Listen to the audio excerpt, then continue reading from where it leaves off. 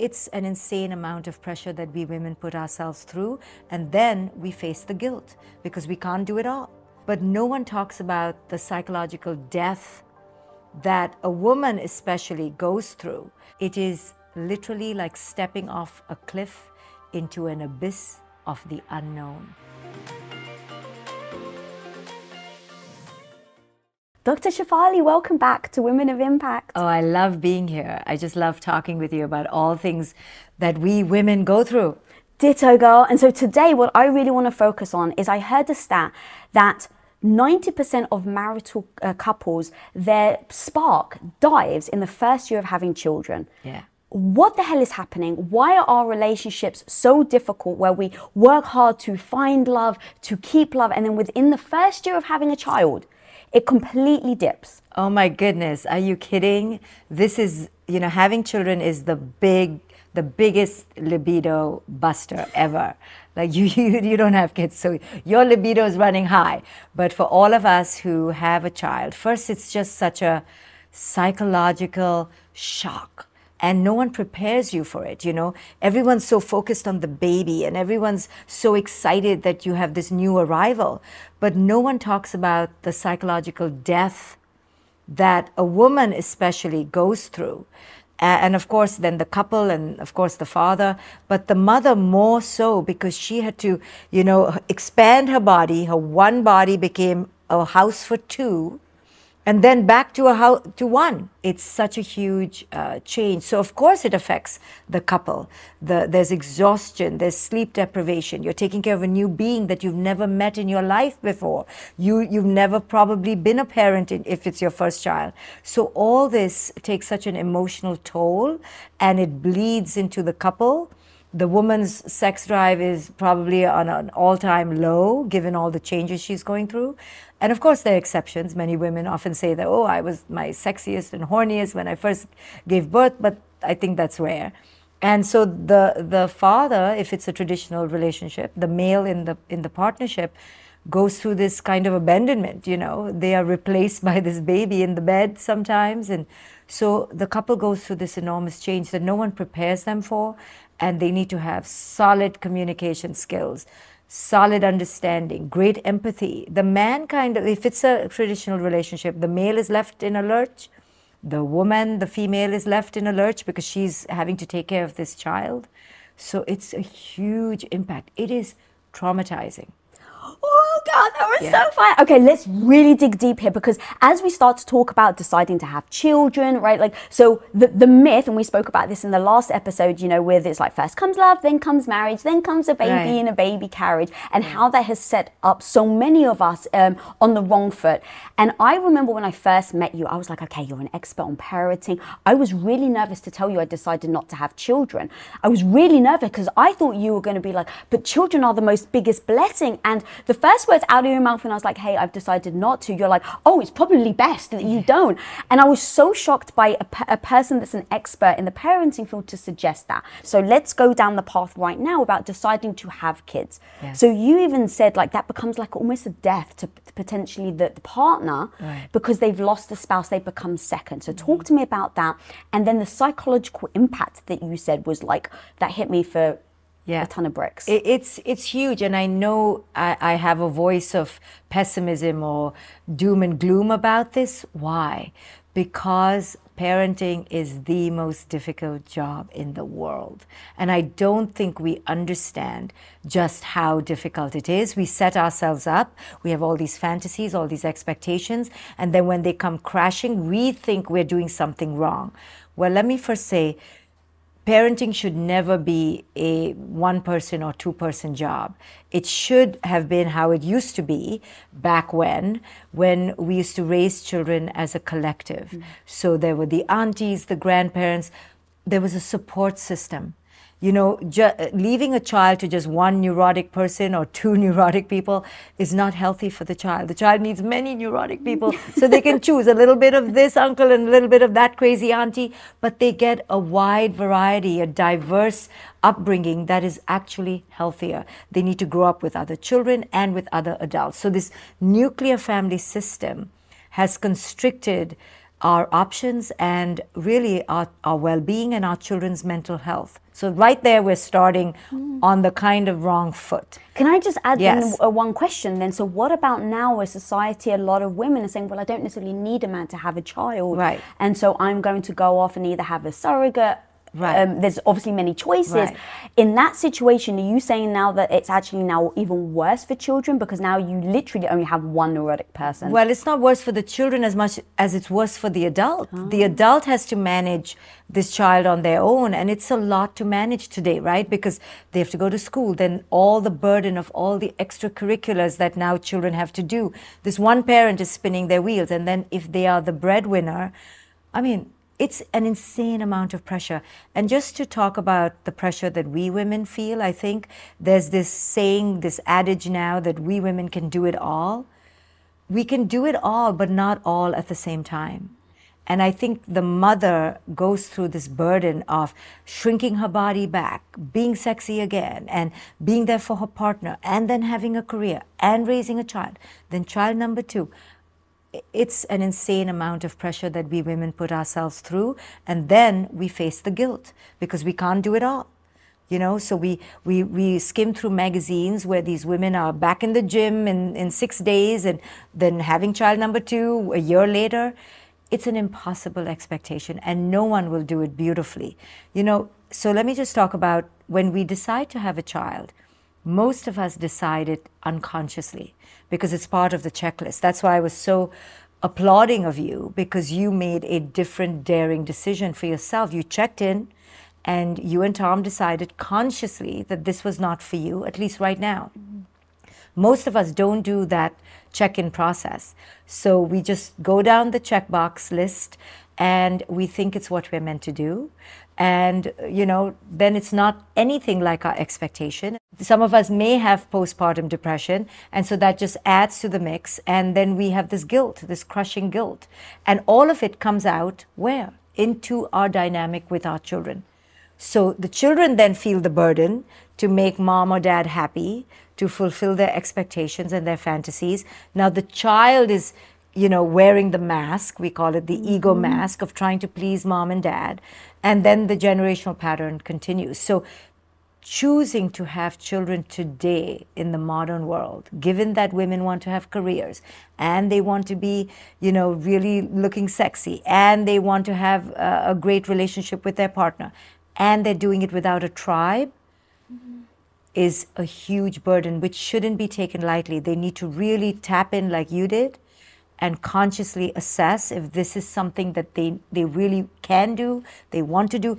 Being maternal and putting your maternal instincts and that role as your top priority, especially when your children are growing up. Sure, you may have a great partner, but you have to still be the primary caregiver is something you need to assess. You know, I didn't realize what it would take for me. I couldn't go full throttle on my career until my daughter was at least 10 years old. I wrote books, but I couldn't go on tours, I couldn't travel, so I had to prioritize. But I did it without resentment. I, literally was about to ask you, how do you do it without resentment? Yeah, because I knew that my maternal role was my top priority and I embraced it. I loved it. I wanted it. I wanted to learn from my child. So I created the space in those first 10 years to be there as much as I could. Now, I still did a PhD, I still wrote books, but I wasn't out there in the world as I am today because I needed to be there, physically present. But that was something I chose. And because I chose it, I was able to embrace it. There were moments that I regretted. You know, I was like, damn, this is like, this is a 24 7 job. You know, mm. it is because I didn't have the support I needed. You know, my family was back in India, so I was doing it all alone. I wasn't wealthy, so I couldn't hire help. So it was all me. Mm. So, had someone warned me, maybe I would have buttressed myself with greater support. But I tell women all the time, the women who are mothers, listen, you chose this consciously or unconsciously, but now the children are here. Instead of splitting yourself up in hairs, you know, I want to be a career woman. I want to, you know, go to the gym six hours a day. I, you know, I want to travel the world.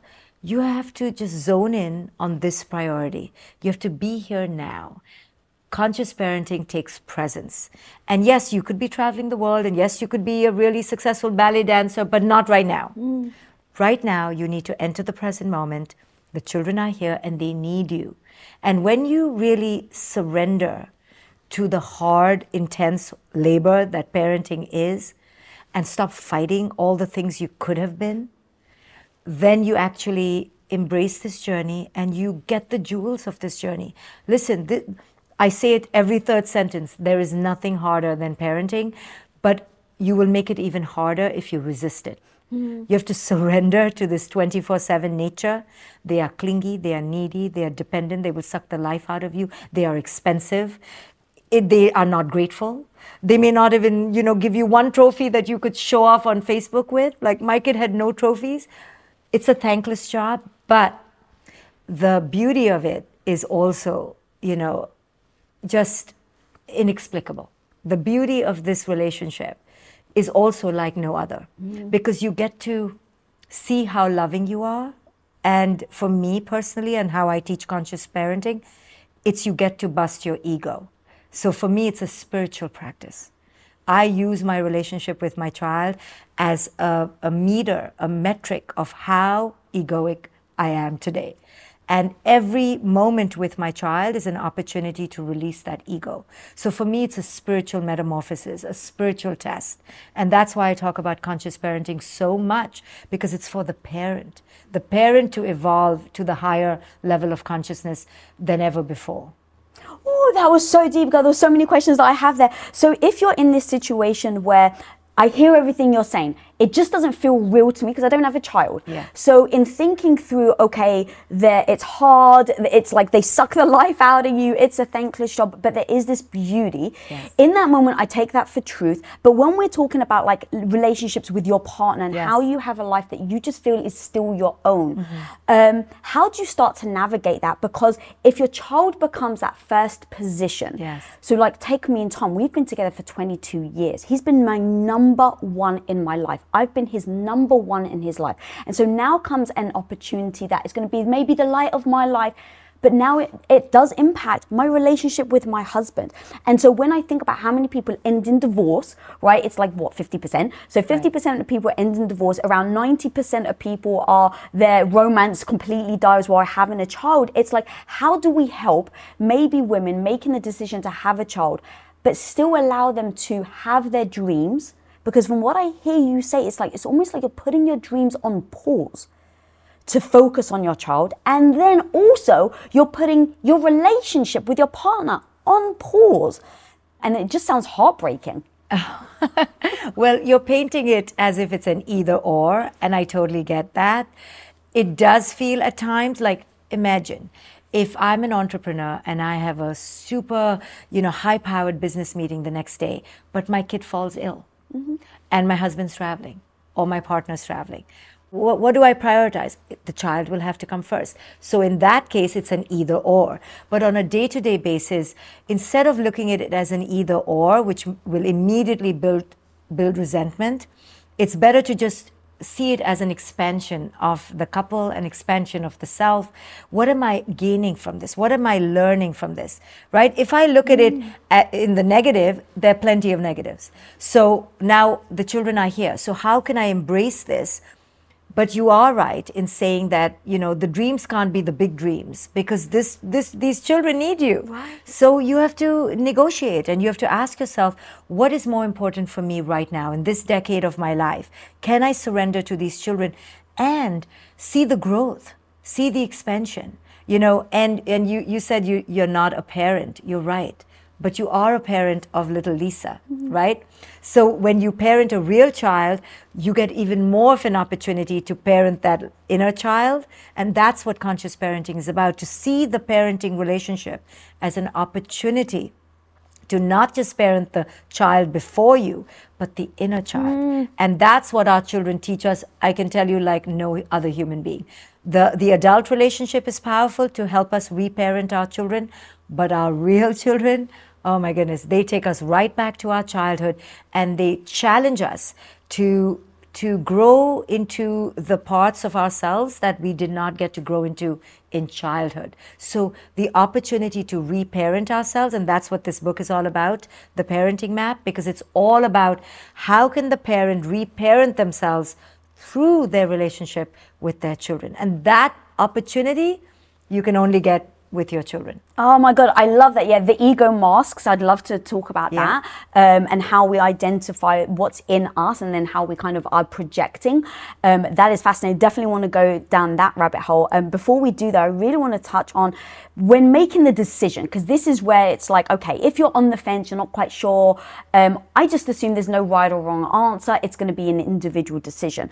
But even in that individual decision, there's no going back. So the decision no is really freaking heavy. Life sentence, yes. life sentence. I Many love that. lives, yes. So in in one in looking at the decision of whether you um, want to, I was about to say should, there is no yeah. should here, if you want to or not. There are many different reasons that I hear that I'd love to actually really break down with you um, to help guide. So I know a lot of people will say, you know, um, if I have a baby, it will fix my relationship. Oh, yes, yes. So if we don't mind going through a couple of these, um, I think it would really help people that maybe are on the fence decide. Yes. So the if people haven't yet had the child and are you know exactly, in the deciding yeah. process, they first need to uncover their unconscious assumptions about what this creature is going to do for their lives because many of us have these fantasies oh if i have a child i'm going to have somebody to love and who's going to love me back so this mythical idea of this free flowing unconditional love is one of the reasons typically we yearn to have a child actually mm. because we imagine that this child will love us and we'll experience this undying love okay? So that's one of the main reasons people say they want to have children.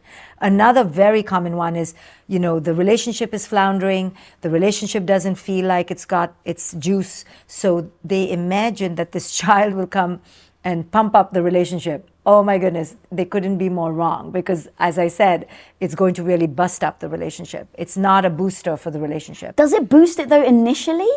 I can see like you kind of coming together for this collective. Oh my God, we're having a child together. Yes, I think when if you're having a biological child mm-hmm. and during those nine months, there's this idea that oh we are we have created something magical together, and, and it really feeds the ego mm-hmm. that we've both got this little being that we've created, and then when this being actually comes and you don't recognize them or you can't control them, and this being has its own temperament and its own mentality and its own opinions, very quickly then you begin to have difference, you know, a difference in parenting, a difference in attitude. Your philosophies come into question. There's nothing like parenting to bring your value systems as a couple out into the light like never before. Mm. because you begin to argue about things that you didn't even know you needed to argue about such as you know uh, uh should you uh, you know have uh, diapers or do you should you have cloth or you should you buy diapers? Should you have this kind of milk or soy milk or almond milk? Now you're arguing about things that you never needed to argue about. Every little thing comes into question and you have to examine yourself like you never did before. So that's another reason people think they should have children and another one is just that they want to fit in. You know, they want to fit in with what women in their, de- you know, what couples in that decade of life typically do, especially in their 30s to 40s. Everyone's having a baby. You feel left out.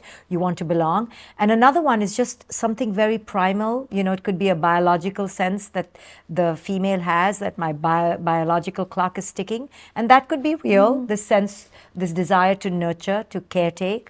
And uh, one more unconscious reason is simply because my culture says it's something we have to do. You know, you know, you you face that as a Greek woman, right? Yeah. That Greek women, they are they are natural born mothers. So many of us feel that it's something that is culturally imposed, culturally sanctioned. But the, except for the biological one, all the others need to be really examined deconstructed, questioned, assessed, talk to other parents, you know, go live with someone who has a newborn baby, try it out for real life. Having a pet is not the same thing. You know, people are like, oh, I have pets. No, it's not the same thing. Go and actually try it out because it's a 24 7 life sentence. Thank you for breaking that all down. And as you were talking, the thing that really stands out to me is the fear part of it, right? Yeah. Almost the fear to not be accepted, the fear to be maybe ostracized, the fear that I'm going to regret it. Like, and even with the biological clock one is still actually very, um, I think, strong fear that a lot of us have that if I don't decide now, what if I regret it? Right. And so we then potentially make decisions out of the fear based of the future potential. Definitely. Then it really is the now. So how do you help women specifically make help decide or help um, Yeah. navigate that decision? Well, you know, ideally, you would want to go on a meditation retreat. You would want to really check in with yourself, assess for a year or two, you know, hang out with children, really try it out.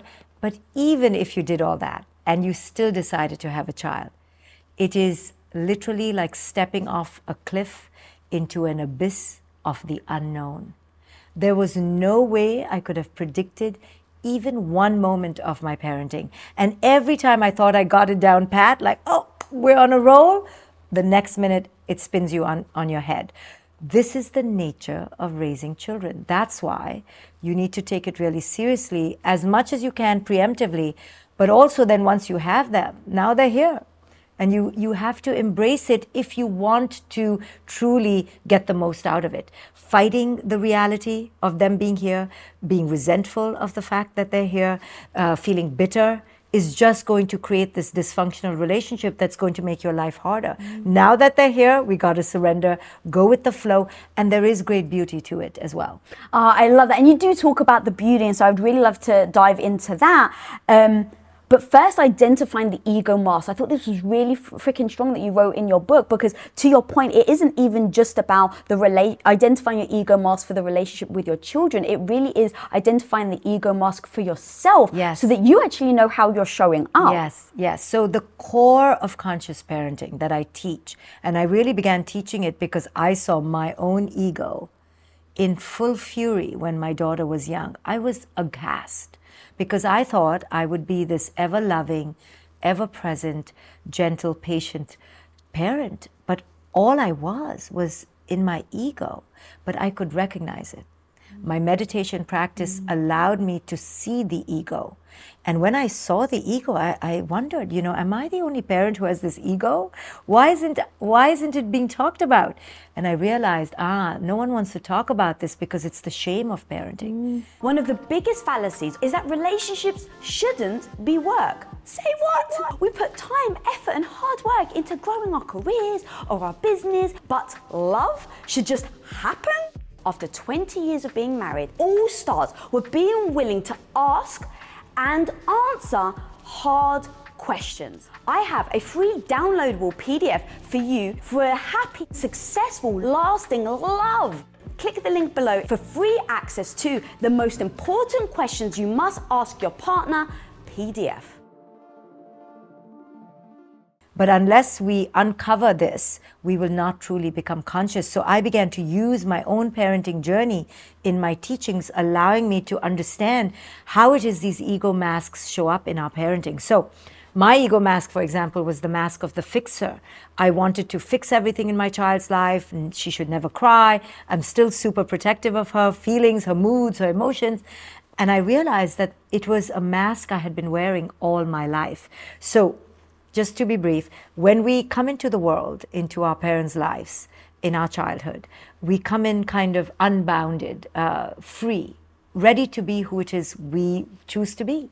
But because of the circumstances and the conditions of our childhood, we quickly realize that who it is we are is not being honored. Like, oh, I have to be something in order to get the love, approval, validation, and praise from my parents.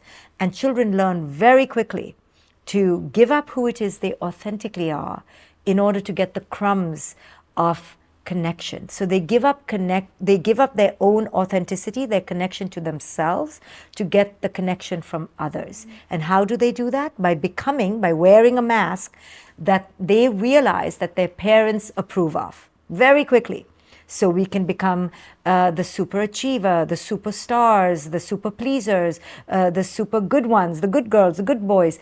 And we wear these masks because we realize, ah, when I wear that mask, my mother's face just lights up. and I feel worthy. So we give up connection to ourselves for connection to our parents. And these masks become embedded and become our way of being, and we don't even realize that we have these false personas that we wear out into the world. Now, then we become parents, right? And we don't realize that we will even wear a mask with our children. We think we, we just love unconditionally. So the first step is to become aware that we could wear these masks. And I talk about the five masks. I would love if you don't mind breaking them down. They're so powerful. Yeah. So I, I fashioned these masks based on the primal survival instincts of freeze, fight, or flight. So based on that, I created these masks. So I could talk about the fighter mask, the fixer mask, the feigner, who's the attention seeking mask, the freezer, and the fleer. And each of these masks are triggered when we are in a state of helplessness or anxiety. So, the minute our children make us feel anxious, we revert to a mask that we've always worn that gets us what we need in the moment. So, the typical one is the fighter, you know, I think there's no parent who hasn't been a fighter once or twice. um, but we're talking about chronic patterns here. And the fighter is the exploder, the screamer, the yeller who just shifts into the gear of super control. Mm. You know, and most of us parents have been told that we are in control. But then when you have a child and you realize, you know, a humbling realization is how little control you have. I mean, like zero. Like, first, when they're an infant, you can't control their pooping, their lack of sleep, their colicky, you know, irritability. You can't control any of it. Mm. But you kind of are okay with the infant because at least when you put them in the crib, they stay there. Okay? but then when they start walking and talking, that's why we call it the terrible twos. Right away, it becomes terrible. Yeah because they are terrible. Like they are not getting under our control. Mm. so control is is our biggest focus and our goal. And when we realize we don't have control we get anxious and we wear these masks. So the fighter is all about control.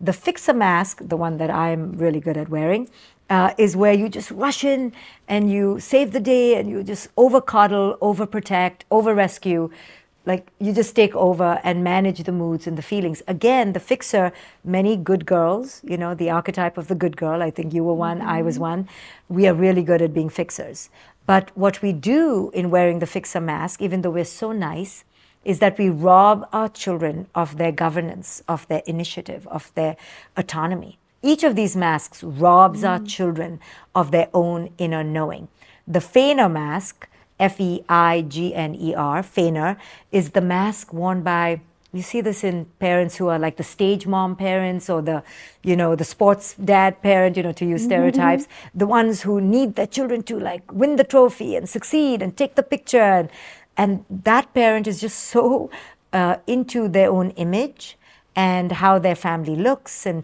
the picture perfect family that they're missing out on what their children need. Mm. And then the freezer and the fleer parents come from more trauma where they simply cannot show up for their children's big emotions. I mean, talk about needing to show up for another's big emotions. You have to show up for Tom's emotions, but Tom does the work. Mm. He is, has a therapist probably. He's taking care of his emotions. Imagine having two or three children who have no idea how to take care of their emotions. Now you have to take care of their emotions. So if you've faced any trauma around your feelings as a child, if you've typically suppressed your feelings, then the fleer and freezer mask is what you're going to wear. You're going to completely freeze when your child has big emotions, which is typically at least three or four times a day, if not a week, right? So that mask comes into play because it protects you. You don't have to deal, you check out, you abandon your kid really. Uh, but it's really causing dysfunction in your relationship. So, when a parent is unaware of these masks they wear, then they show up for their children with that mask. So, what that means is that they are reacting to their mask and they're in their own fear instead of responding to what their children need from them in the moment. And children are watching you, they are observing you, they are absorbing you, they are ingesting you, indoctrinating you, internalizing you. So the, imagine now you have these eyes on you. It was one thing to be dysfunctional on your own, but now you have all these eyes and you're responsible for how they're taking you in And, and you're seeing them take you in. And hmm. you're like, oh goodness, I just messed up with my kid. But that's all par for the course. That's all part of this journey. And that's why you learn self forgiveness. You learn self compassion. You learn to heal yourself because you see your child beginning to mirror you and you begin to see how yet you have to grow. Mm-hmm. So if you are wanting to be a conscious parent, right there you are offered jewel after jewel to ask yourself, oh my goodness, how am I showing up for my kid? What was that about? Why did I just lose my temper?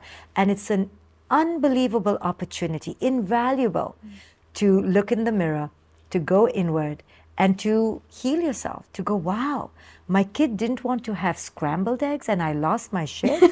like, what was that about? What that was about was you weren't being heard.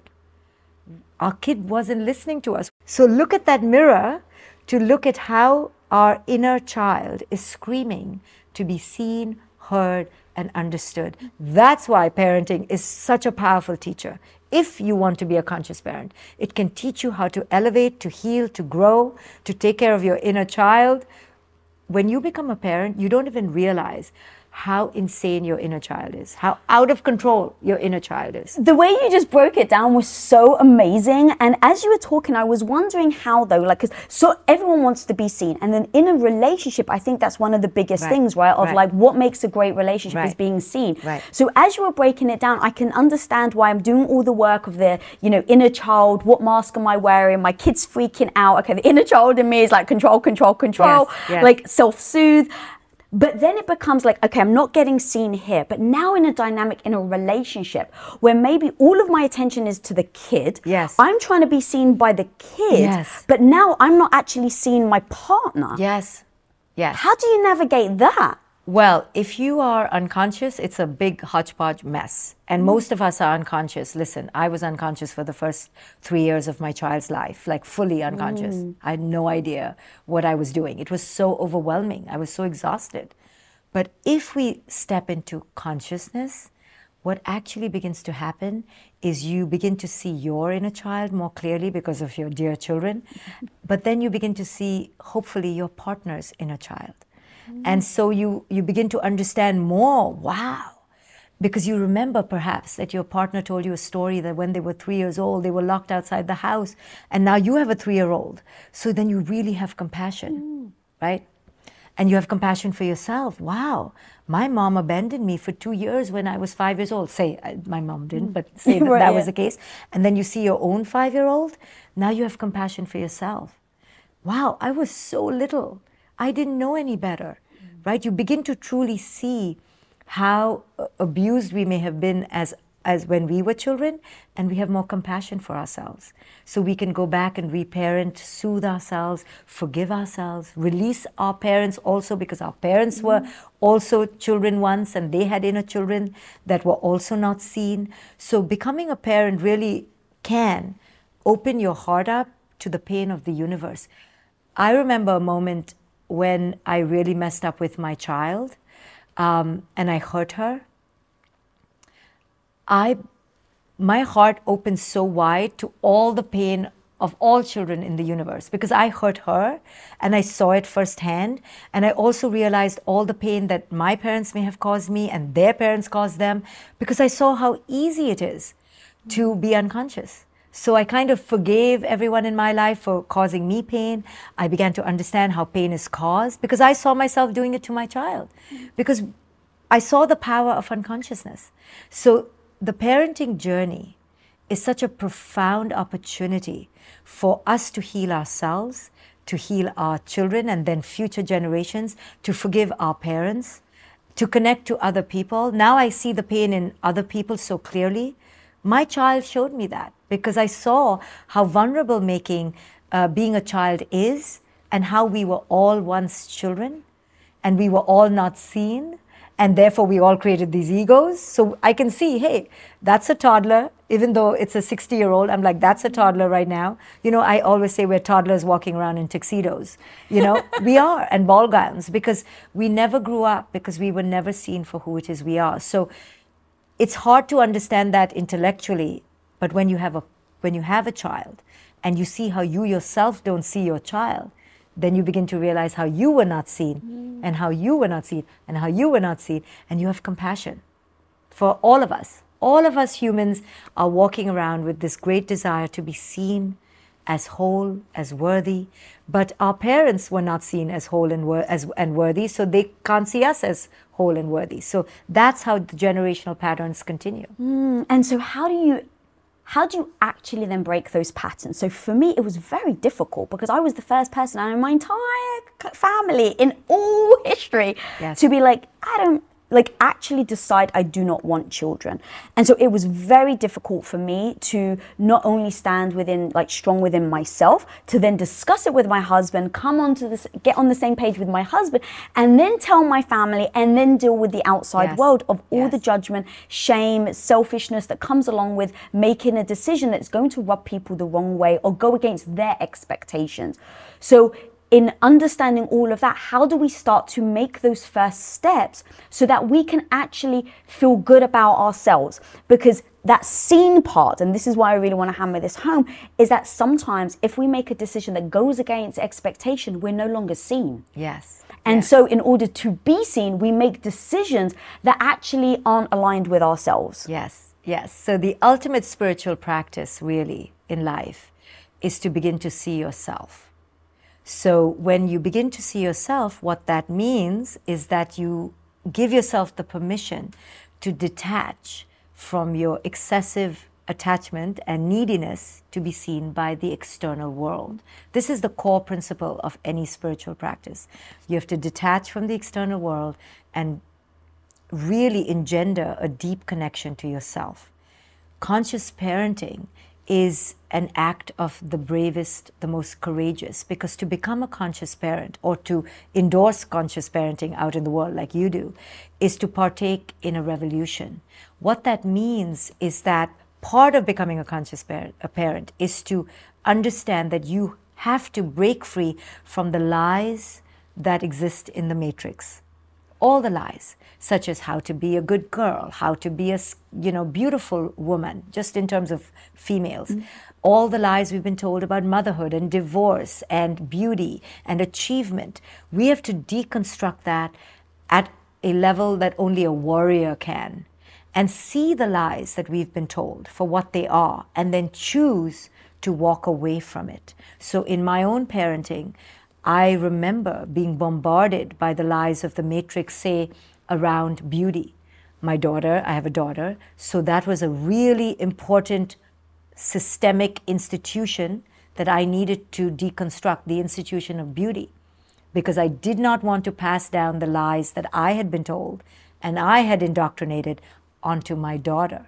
Oh, can sorry interrupt. Can you break that down for me? How that actually goes? Because I want people at home to go. That sounds amazing. How do I actually do it? Right. So, if you don't mind Right. taking me through, like identifying the lie, looking at it, like, Correct. can you take us through those steps? So, as a parent, if you want to be conscious, you have to first understand all the institutions of culture that are ingrained in you that you are going to unwittingly, unsuspectingly pass on to your children. The big ones are achievement, happiness, beauty, religion, um, love, marriage, divorce. These are the things that you are going to pass on to your children. So when I had a daughter, the first red flag that I needed to pay attention to was how was I going to show up as a woman in my body around my daughter, which meant I needed to heal my own damage that culture had inflicted on me around how I needed to show up around beauty and my body. Did I embrace my body? Did I embrace my cellulite? Did I embrace my wrinkles? Did I embrace my whatever, my funny ears, my weird jaw, whatever? Because my daughter was going to pick up on that. So I knew I did not want to damage her with the lies that I had been damaged by. And that's because you realized it was damaging you. Yes, So every female client and every woman I've worked with. So I knew that this was a cage that I needed to break free from and not put it on my daughter. So I remember one time, and I tell this story often. Um, my daughter, uh, I was with a group of people, and she came up to me and said, "Mommy, mommy, show everyone your wings. This, this, this." And she like began rocking the flab, and I was like, "What is she doing?" And I wanted to cover it up and call her a bad girl and send her to a room. But I realized that she was just loving it. I wasn't loving it, but she was. So I had a choice. Conscious parenting is all about the choice in the moment. So should I enter my ego and flip out and be all about my image? Or should I, this was a moment, embrace my body for its imperfect, imperfections. There's nothing imperfect about it.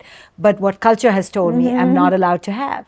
So I ste- decided to step into it and I was like, I, you know, just swallowing the ego. And I was like, yeah, show everybody my flag. Go ahead. And, and then I just made a joke about it. I was like, Maya, you know, so sad for you. You don't have wings. You can't fly. And I, and I just allowed it to be. And I didn't even say, oh, I love them. I didn't even say, oh, they're beautiful. Because I didn't have to. Mm-hmm. If I truly accept, I don't even have to give it a name. I don't even have to say they're pretty, they're beautiful, right? This whole positive affirmation you know, trip that we go on comes because we don't accept. If we accept, I don't even have to say anything. I don't have to explain. The cellulite, I don't have to say, but it's beautiful. Hmm. I just accept. I don't have to say it's beautiful or pretty or give it any adjective because I accept. So, in these little ways, I was very conscious of how I showed up in the mirror in front of my daughter, how I got ready in the morning. They are watching everything how I ate my, my food with gusto, or was I counting calories? Was I hard on myself? Was I saying, oh, I look too fat? Oh, I had to really be mindful. And I, and I, and I made it my task. But more than that, I embraced it as a spiritual practice because I was forced to embrace myself. Hmm. I couldn't just talk it, I had to actually be it. Right? So that was one area. Then another area is around success. Right? Oh, if we were high achieving children, that message when we are parents is on steroids because an unconscious emblem of parenting it's our motto is to raise a successful child. No parent wants to raise a loser right? We don't want we don't want to raise an average joe schmo. We want to raise a superstar. Oh my goodness. I thought i was like so easygoing but i was type a in the first few years of my daughter's life. I wanted a high achieving kid. And it because culture tells us that we're mm-hmm. supposed to raise a superstar. And it's a reflection of the parent. So if the kid is naughty, gets arrested, does all this stuff, Oh my you're just like, oh, what's a parent Yes, like? yes. If the teacher sends a note back home, we feel like mm. we are in the principal's office. It's a carbon We copy, I take think you call it Yeah, mini me. Yeah, Yeah, mini me. We take it so personally, right? Because we want the the superstar, A plus, five star child. You know, absolutely. So we are trying to groom this child to not be ordinary. Like an ordinary child is anathema. We do not want an ordinary child. We're like, can you be good at something? Can you do something that I can put post on Facebook? That I can can I can you know put in a frame? Something I can put on the wall? So this is a, an illness because we've been told as parents that we are mandated to raise a successful child. So part of being a conscious parent is to deconstruct that lie because we have to really examine what is a successful child? How is success measured? Instead of raising a successful child, what I encourage parents to do is raise the child before you, not the child of your fantasy. Mm-hmm. You are not raising your cousin's child, you're not raising the child you were, you're not raising the child you wish you had. You are raising the child before you. Now, connect to that child's essence and allow that child to flourish in their essence. Let them be the lead a little bit, especially in their early years, to tell you what they like, what they don't like, and don't bombard them with things that you like. Now, that is success. A child who follows their own inner governance, who learns to tap into themselves, who, who discovers that they are their own inner leader. Now, that is a successful child, right? When we grow up, we want to be able to follow our own direction. We want to be able to say no to bullies. We want to be able to step out of the matrix. We want to be able to defy our boss if they are intimidating us. Well, how will we teach those skills to our children if we are telling them to follow the matrix, to get the straight A's, to follow the crowd, right? So we parents cannot have it both ways. If we want to raise that rebel, maverick, warrior adult, it needs to start with them rebelling against us, mm-hmm. with them talking back at us, with them sharing their opinion, and with us following them. How can we raise a leader if we've never even taught them to be a leader, right? That means we need to follow them a little bit. Mm. So that's success to me is allowing the child to listen to their own essence, to understand who they are, to follow their own knowing, and to follow them in their lead. So when I took my child for her first horse riding competition, even though she told me she did not want to go because I wasn't listening, I wasn't listening. I wanted to raise a successful equestrian. So Really? I didn't care. I was like, That you was will go thing. on the horse because I loved horses when I was a kid. I was like, you will do what I didn't do. I wasn't listening. She went for one competition.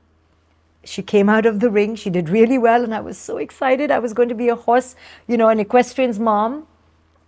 Uh, she came out of the ring and she threw her jacket down. She took out her braids. She threw the helmet down and she was like, Never again, mom, never again. And at that moment, I had a choice. My ego was like, Why not? It's amazing. We just won a trophy. You should do it again. But I knew that if I wanted to be a conscious parent, I had already gotten my way one time by pushing her into the competition. But now, if I didn't listen to her, then I would be teaching her to doubt herself. I would be teaching her that her feelings about things, her knowing, was not important to me. Her inner knowing was of no consequence to me. So, what did I want to teach in that moment? Was it about my ego or was it about connecting to my child's essence? And frankly, I had no choice because my daughter was just not going to listen to me. So I had to be humble and surrender. So I had an opportunity in that moment to surrender my ego mm. and grow up and trust that even if my child wasn't a star equestrian, she was still a star in her own right, right? I had to trust that in the ordinary was the extraordinary. So that's a big thing that mm-hmm. parents need to debunk. Let's go with happiness because every parent wants a happy child, right? Yeah. Parents always tell me, What do you want me to say? I want an unhappy child. And what I tell parents is, It's not, not your business. None of it is your business, happy or unhappy. Your child gets to choose how they show up in the moment to their life experience. If they choose to be happy, that's their experience. If they choose to be unhappy, it's their experience. How are you going to decide what your child's moods are? but we parents have this belief, again, mandated by the institution of parenting, that we should make our kids happy. And you know what? It drives us crazy because we can't make them happy every day. So every time they're unhappy, we feel responsible. We feel stressed. We feel guilty. We feel anxious. And then we feel angry at them. Like, I did all this for you. I gave up my PhD. I could have been a ballet dancer. I could have been the best artist in the world. And now you're just crying all day? Like, did I do all this for you to cry? So then we guilt trip our children. We make them feel upset. We suppress their authentic experiences because we want to make a happy child. Because we feel good when our kid is happy. Oh god, this is so powerful because it's so true, but I can actually understand, like, as a parent, it's like, for, for heaven's sake, I've put my dreams aside, right? Dr. Shefali says I can't have everything. So I put my dream aside. I did do it for the better, for the good of my child. I did do it for the health of them. I did do it for, like, so that they can grow up and decide to be happy or choose Yes. happiness. But now you're, like, in all of my efforts, I've now not achieved what I've done. Yes. And so you do find that inclination to lean into, but what about me? Like at what point Yes. are women just sacrificing, sacrificing, sacrificing? And I know you said Yes. it earlier, but like uh, maybe I just can't live in this world where like, but as women, when we've sacrificed, when we've given so much over Yes. to our child, when is it my turn? When is it Yes. for me? When is Yes. it like I do need to find satisfaction somewhere in this Yes. dynamic? Yeah, you're, you're absolutely right. So, just touching upon that resentment we feel when our children dare to be unhappy a lot, when all we've done is invest in their damn happiness. You know how many millions of dollars we spend on our kids to be happy? We take them to Disney World. You know how many miserable children are at Disney World and miserable parents? I feel for them because they've spent so much money, their life savings to make this epic trip, and the kids are just unhappy. You know why? Because we think we should be raising a happy child. Mm-hmm. What we don't realize is that we're just raising a human. And humans have a lot of moods, especially when they're little humans. They have such capricious moods. Such volatile, labile energies, you know, because they're highly reactive. Their executive functioning hasn't developed yet. So we think we're raising an adult or we're raising a happy adult, a successful adult. No, we're not. So that's why we need to think about this decision all the more carefully because these hu- little humans, my goodness, they're constantly having moods and emotions and tantrums all the way till they're 28, mm. right? It doesn't end. 48. So, right, 48. So, in terms of what about me, right? We, and I'm going to talk about mothers mm. especially, we as mothers have to, you know, tread that fine line, and it's a fine one indeed, between giving to our children our presence, our energy, our efforts, our entire consciousness, but also giving to ourselves. So, the ways that we can give to ourselves are two. One is giving to ourselves through our children, meaning using it as a spiritual practice, mm. using it as a mindfulness. So when I was rocking my child at night for the umpteenth time, lonely, isolated, you know, no one's up at this hour of the night, just me, I could see my resentment building up, right? Mm-hmm. Going, what about me? My partner's sleeping, my mother's sleeping, the whole world is sleeping, but this baby's keeping me up and I'm exhausted. What about me? Resentment. Or I could go the other way into, ah, what is this teaching me right now? It's allowing me to be present. It's allowing me to feel connected. It's allowing me to be here in the moment with my beautiful child. So I allow it to elevate me, right? That's the choice. Because if you don't have this other choice, you're in hell because it's one endless pit of resentment. So the what about me can be answered by using the relationship to teach you about yourself, learning about yourself, elevating yourself through the relationship. That's one way. That's the harder way. The other way is you have to carve time out for yourself. You have to have something that replenishes you. You know, you have to send your baby to daycare if you can afford it. You have to call in the troops. You have to call in help be helpless. Say hey i need help. You know another thing a lot of us mothers do in the early parts of our journey is we want to be the only one you know the superheroes. I can do it best. Well that doesn't last long because you can't. You just absolutely need to go on your knees and say i need help. So i, I called my mother i called my mother-in-law i used my friends to help me. Find a babysitter. Try to use your resources for that extra help so that you can then spend the time to activate your own sense of purpose, something that fills you up on your own. Your girlfriends are so important, other mothers. You need help. And trying to be this completely, you know, limitless being will come and kick you very hard. You mm-hmm. need to just own your imperfection, own that you need help. Do not be limitless. Do not be the savior. Do not be the superhero. Own your limitations and ask for help. Do you think that's so beautiful? Thank you for that, by the way. As you were talking, I was like, do you think that we've somewhat female empowerment has done some damage to women in that sense of like, you can do everything, a girl? And Yes. now the fact that we we have it's being perceived as you can do everything versus you have a choice to do thing, anything. Right. And in the feeling of you can do everything when you can't, it actually makes you feel badly about Yes. yourself. And now you compare yourself to other women where you're like, well, hang on a minute, she can do it. She can do it. I can't. Maybe I'm terrible. Yes, I am kind of anti this slogan, you can do everything, because women take it to mean I must do everything and mm. I'm a failure or lesser than or less of a woman if I'm not doing it all the career, the children, the partnership, the body, what the charity work, the volunteer work, what all can we do? So I am against that slogan, and I think it's actually causing a lot of harm in our psyches. I prefer women to believe they can choose to do whatever they want, but also they can do a lot, but not all together. they can do one or two things in this decade, mm. another two things in another decade. And many women resent that. And then I tell them, well, then you don't have to be a mother.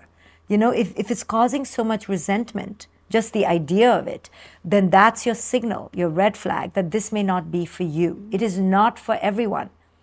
You know, that maternal instinct is not everyone's instinct. And people need to have the choice to choose if they if they wish to embody that instinct, if they wish to actualize that instinct. And in many traditional cultures like mine in India, women are just expected to be maternal. But not every woman has that. And that's okay. They can be maternal towards their nieces and their nephews. They can be maternal in their garden. They can be the best chef.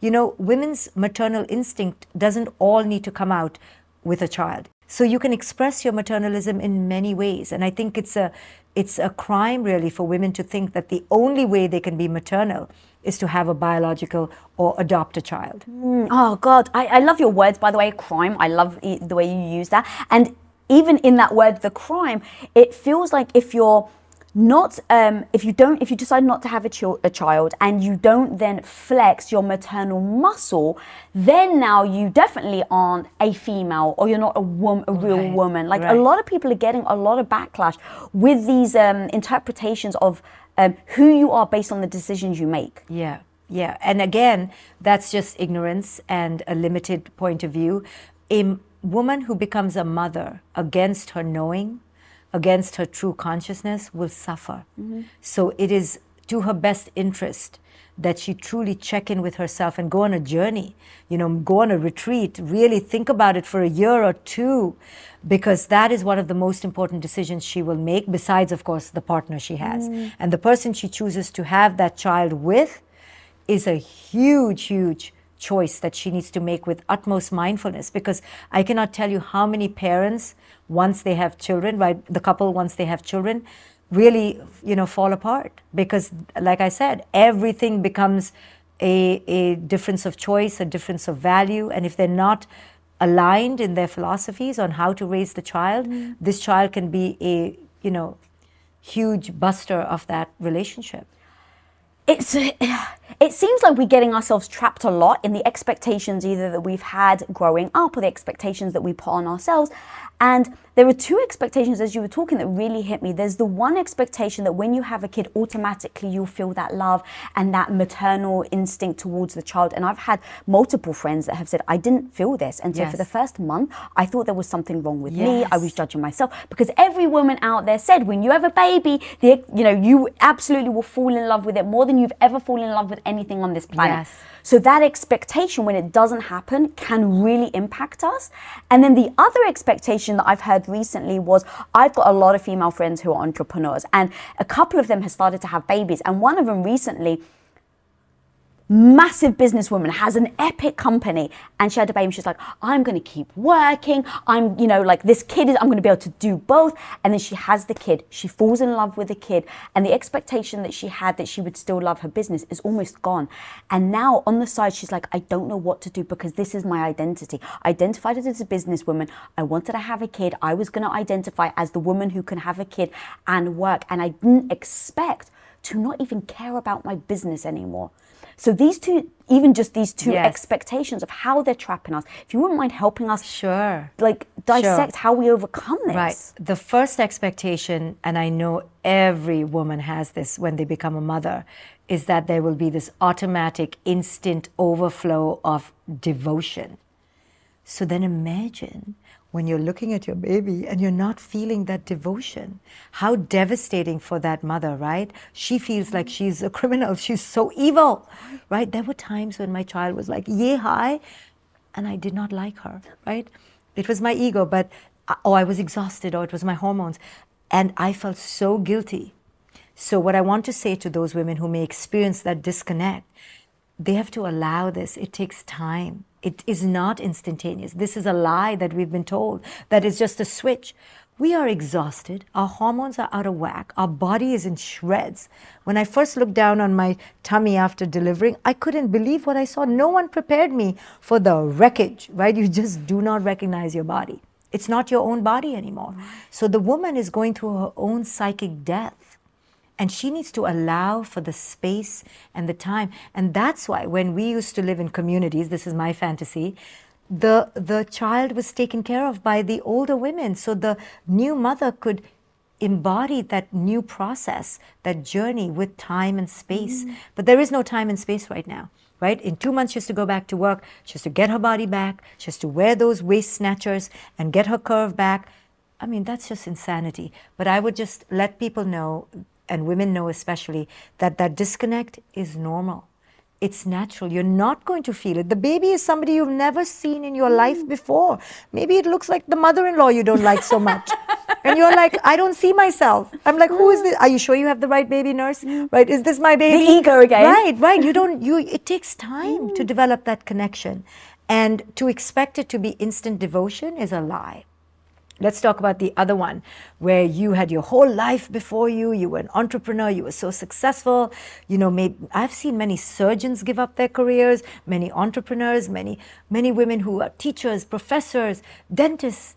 Right now they have a baby. They never thought that they would give up their career. They never thought that the light of their spirit, their entrepreneurial spirit would dim. Mm-hmm. But now this baby is competing for their attention and their love. And I would say to that woman, allow it. It's okay. One is not better than the other. It's not a competition. It doesn't mean you're lesser than because now you're in love with your baby and you love being a mom. You know, I think the new the new woman today almost has this idea that just being a mom is almost like a low class thing to do. Mm. Like, oh, you're just a mom, right? So you felt it because you didn't want to be a mom. But for those mothers who want to be a mom only, now they are being disparaged, mm-hmm. right? They are being scorned. Oh, you just a stay at home mom? There's so much beauty in that. There, it's not about like, oh, being a career and a mom makes you a full woman. You can choose a, a combination of a little bit of this, a little bit of that, only this, only that. We have choices now. But for the woman to feel lesser than by culture is really uh, an unfair thing. Mm-hmm. And we women need to fight back against it right? We need to say, no, I want to be only a mom. I want to be a stay at home mom. Or I want to be a mom and an entrepreneur. You know, it's okay. My mom, you know, you can say, my mom is taking care of my, my baby during the day and I'm an entrepreneur during the day and a mom in the evening. We can find a way, but regardless, once you have a baby, somebody needs to take care of that baby. right, yeah. So you have to find somebody who's wholesome, who's connected, who's wanting, who's willing and uh, finding that right person is hard but it can be done. Mm, yeah and i I think that's beautiful. And the thing that you keep echoing this episode that is so amazing is that it's okay. Like the expectation of doing everything, being this perfect mother, parenting in the perfect way, like always showing up, like it's just setting us, ourselves up for disaster.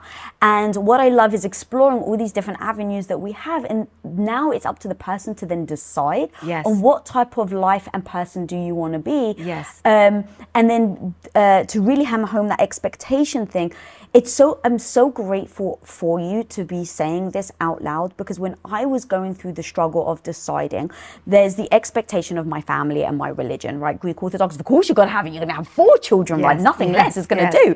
And you've even said before, like I've only had just just one just child. one. We should talk about that expectation. So go ahead. Yeah, so I had that expectation put on me. Mm-hmm. When are you gonna have child number two? You only having one child?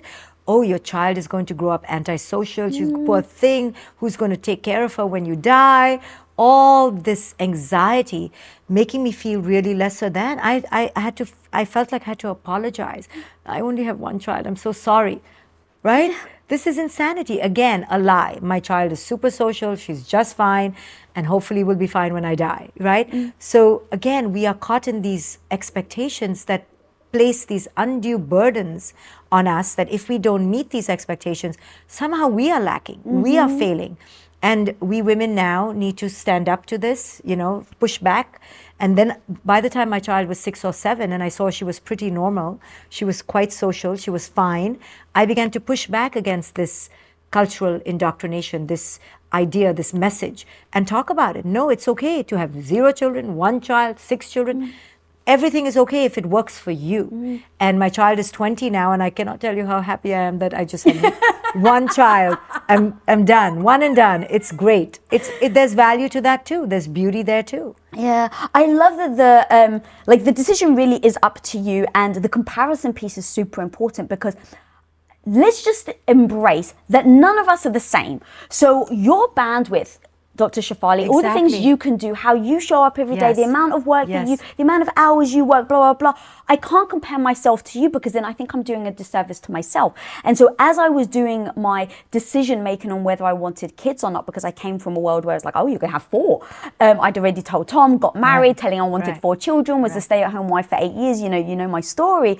And so as I was trying to decide about whether to have children or not, going from four to zero, I started to think about, well, hang on a minute but um, Sara Blakely can do it. Sara Blakely can have a business that's worth Right. over a billion dollars, and she has four children, and she has an amazing marriage, at least Right. from what I perceive. And it's like, but I'm not Sara Blakely. And even if it's easy for her, and I'm assuming it's not, but even if I'm am thinking it's easy, who am I and how am I? And the truth is, can I actually do it? Yes. And instead of saying, well, if she can do it, then so can I, and then I decide to have a business and kids, and then I find my entire life in disarray, Yes. I just, I think women in general should stop comparing themselves to what other people are doing and if it's possible, and just say, is that the life I want? Yes. I love that you brought this up because this is for every human alive, but especially us women because we put so much emphasis on what other women are doing and we pit ourselves against each other. Mm-hmm. And men do too, but for different things. But I think we do it for mothering, for our beauty, for our relationships, right? That's where we kind of compare ourselves with other people. And it is such a disservice because, like you said, you are not only not Sara Blakely or any other woman, your your mother wasn't her mother. Mm. So talk about how you were brought up. So that's what creates bandwidth. That's what creates your capacity to want X or Y. It comes from your childhood. So each person's childhood was so varied, right? I came from India, you came from the Mediterranean culture. It's so different. So we comparing who the mm. person is today is such a superficial glimpse into their world because they came from a heritage, right? They came from a whole cultural conditioning from childhood that we are not seeing. Mm-hmm. We're not seeing. Maybe Sara thought she had to have four children and she went for it, right? Yeah, and maybe now she's going, oh my goodness, why did I have four? We don't know. We're, we're not seeing the backstory, but we're not seeing the cultural story, the whole childhood piece. And so there's no point comparing who the person is today, right? You and I can compare each other today in this moment. But it would be such a superficial glimpse into the whole story because the whole story began generations ago, mm-hmm. right? So, what came down the pike for generations is who I am today my race, my ethnicity, my culture, my language, my country, where my parents came from, how they were raised, their traumas. So there's no point just comparing this little glimpse. And that's what social media has done, right? Mm-hmm. It's given us a glimpse into people's lives, this, these little windows, which is not the whole story, but we think it is. And then we feel, end up feeling really bad about ourselves. And our children are growing up on social media today, and I feel really bad for them because I know that this comparison culture is even more so now that they're being raised in it. And uh, we need to really help our children not get caught up in it like we do. You know, we get caught up in it, so imagine them. Yeah, yeah. I think I've heard you call it the hallmark motherhood. Like we're not actually like we project Yes. the type of motherhood that we're gonna be. the, or hall- sorry, the, hall- the hallmark version of parenthood, Yeah. right? It's going to be this perfect vision. We're going to be loving to breastfeed our children. And imagine, I was told that, you know, you're going to love breastfeeding. The first few times my baby didn't even latch. Mm. And immediately I thought I was defective. Defective. Like, what's wrong with my defective breasts, right? So it starts with the breastfeeding and the, the rosy picture, and we'll be this happy family in the home with the picket fence. I mean, it's just everybody's typical story. And we need to blast it hmm. out into the ether and just blow it up into smithereens because it doesn't work for everyone. And who said that that's even the way to a happy life or a joyous life? So many more women now are deciding to be child free.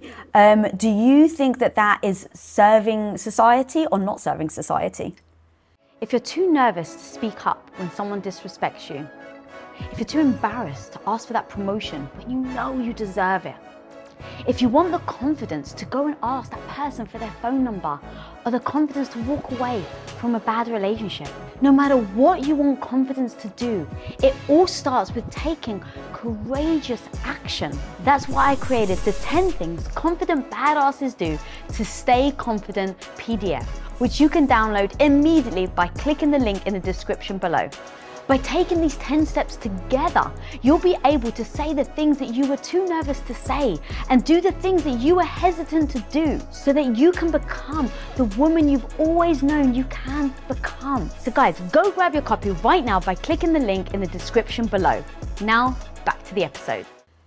Well, it's a loaded question, right? If they're choosing to be child free out of a consciousness and a true calling to their own inner evolution versus it's the hip thing to be child free, or now it's the hip thing to be an entrepreneur, or to be a woman out in the male world, then it's as ridiculous a choice as they would make if they were having a child out of it being a subscription, out of it just being a checklist box that they need to check off.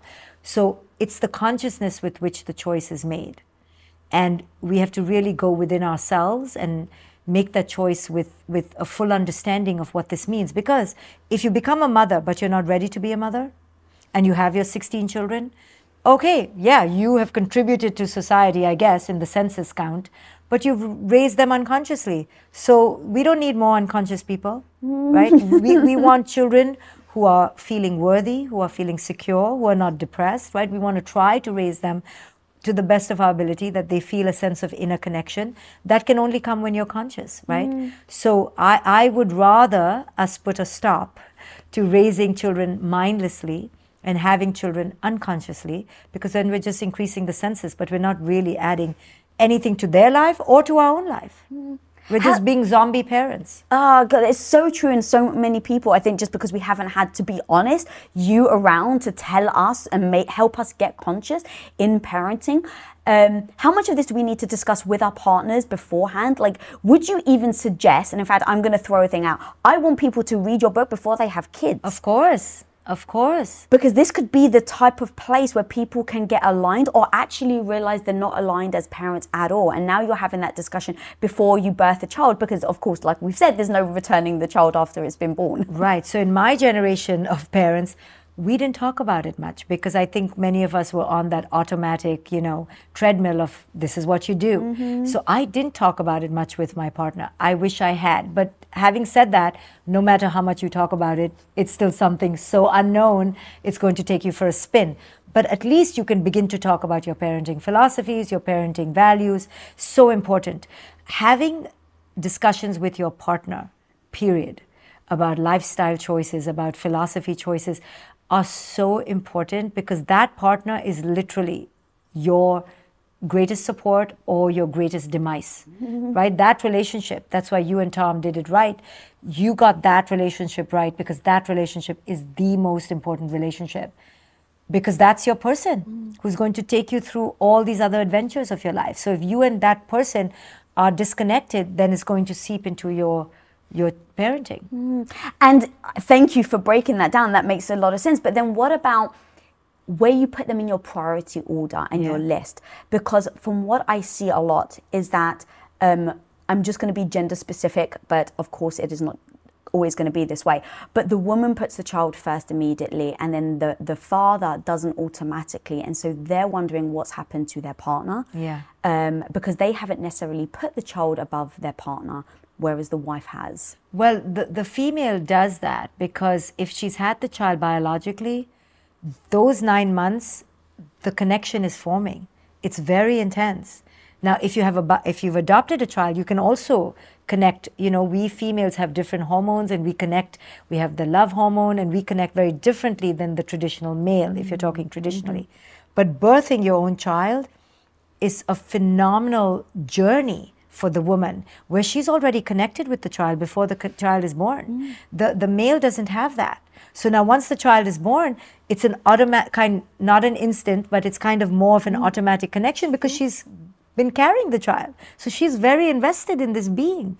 And for that poor guy out there, if it's a guy, mm. he's like, who is this person? He's not had that same biological foray mm-hmm. into the journey as the woman has. So that's why we invest a lot more because we have invested a lot more. Our body has, you know, taken, you know, given up its its essence for this child. Our body has given up its its uh, individuality for this child. Mm. It's allowed this child to be housed within it. So we're very invested. That's why mothers are like insanely invested in that parenting role much more than the father.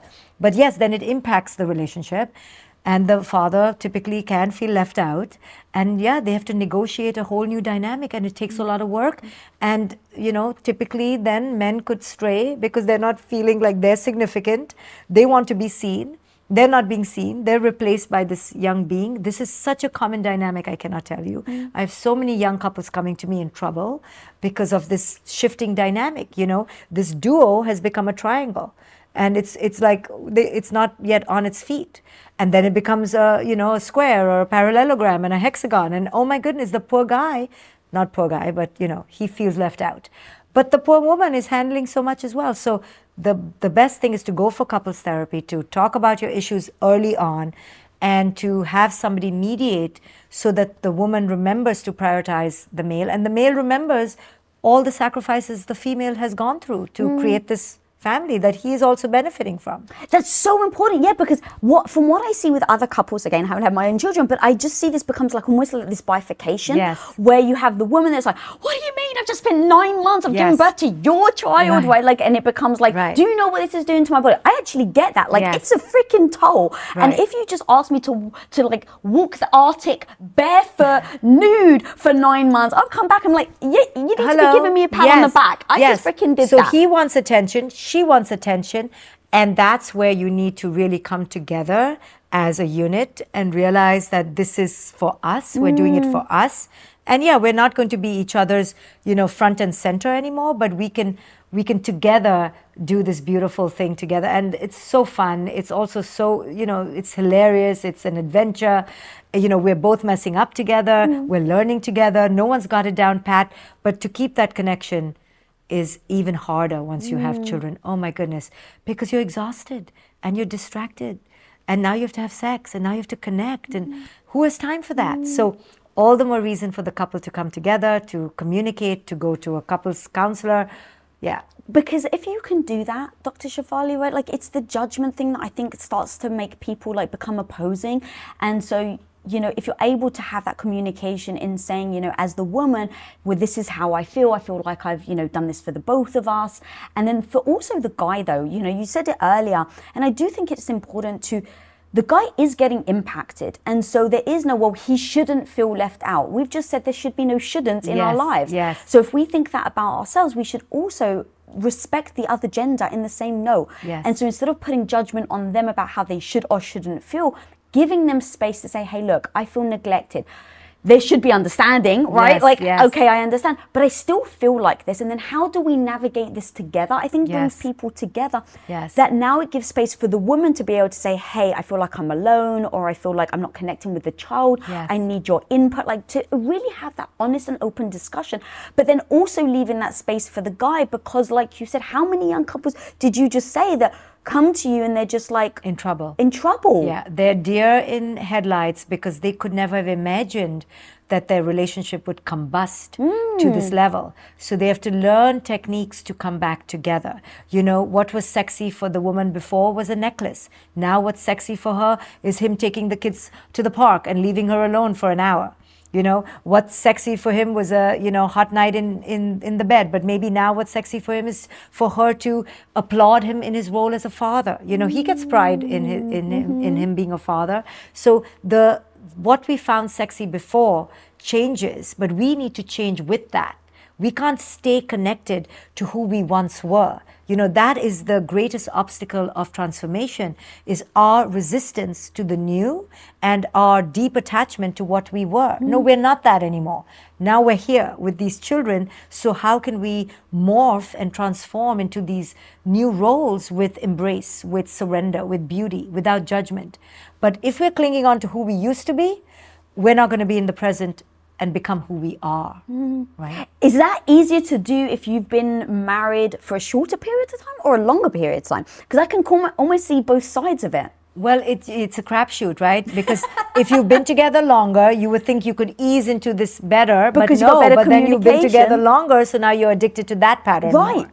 And if you're new, you could say, oh, you know, maybe that'll be easier because the patterns aren't set. But then because the patterns aren't set, now we're in more trouble, right? So there's trouble either way Mm. because these are little humans with X factors up the wazoo. Everything is an X factor. Everything is up for grabs. You don't know moment by moment what's going to happen.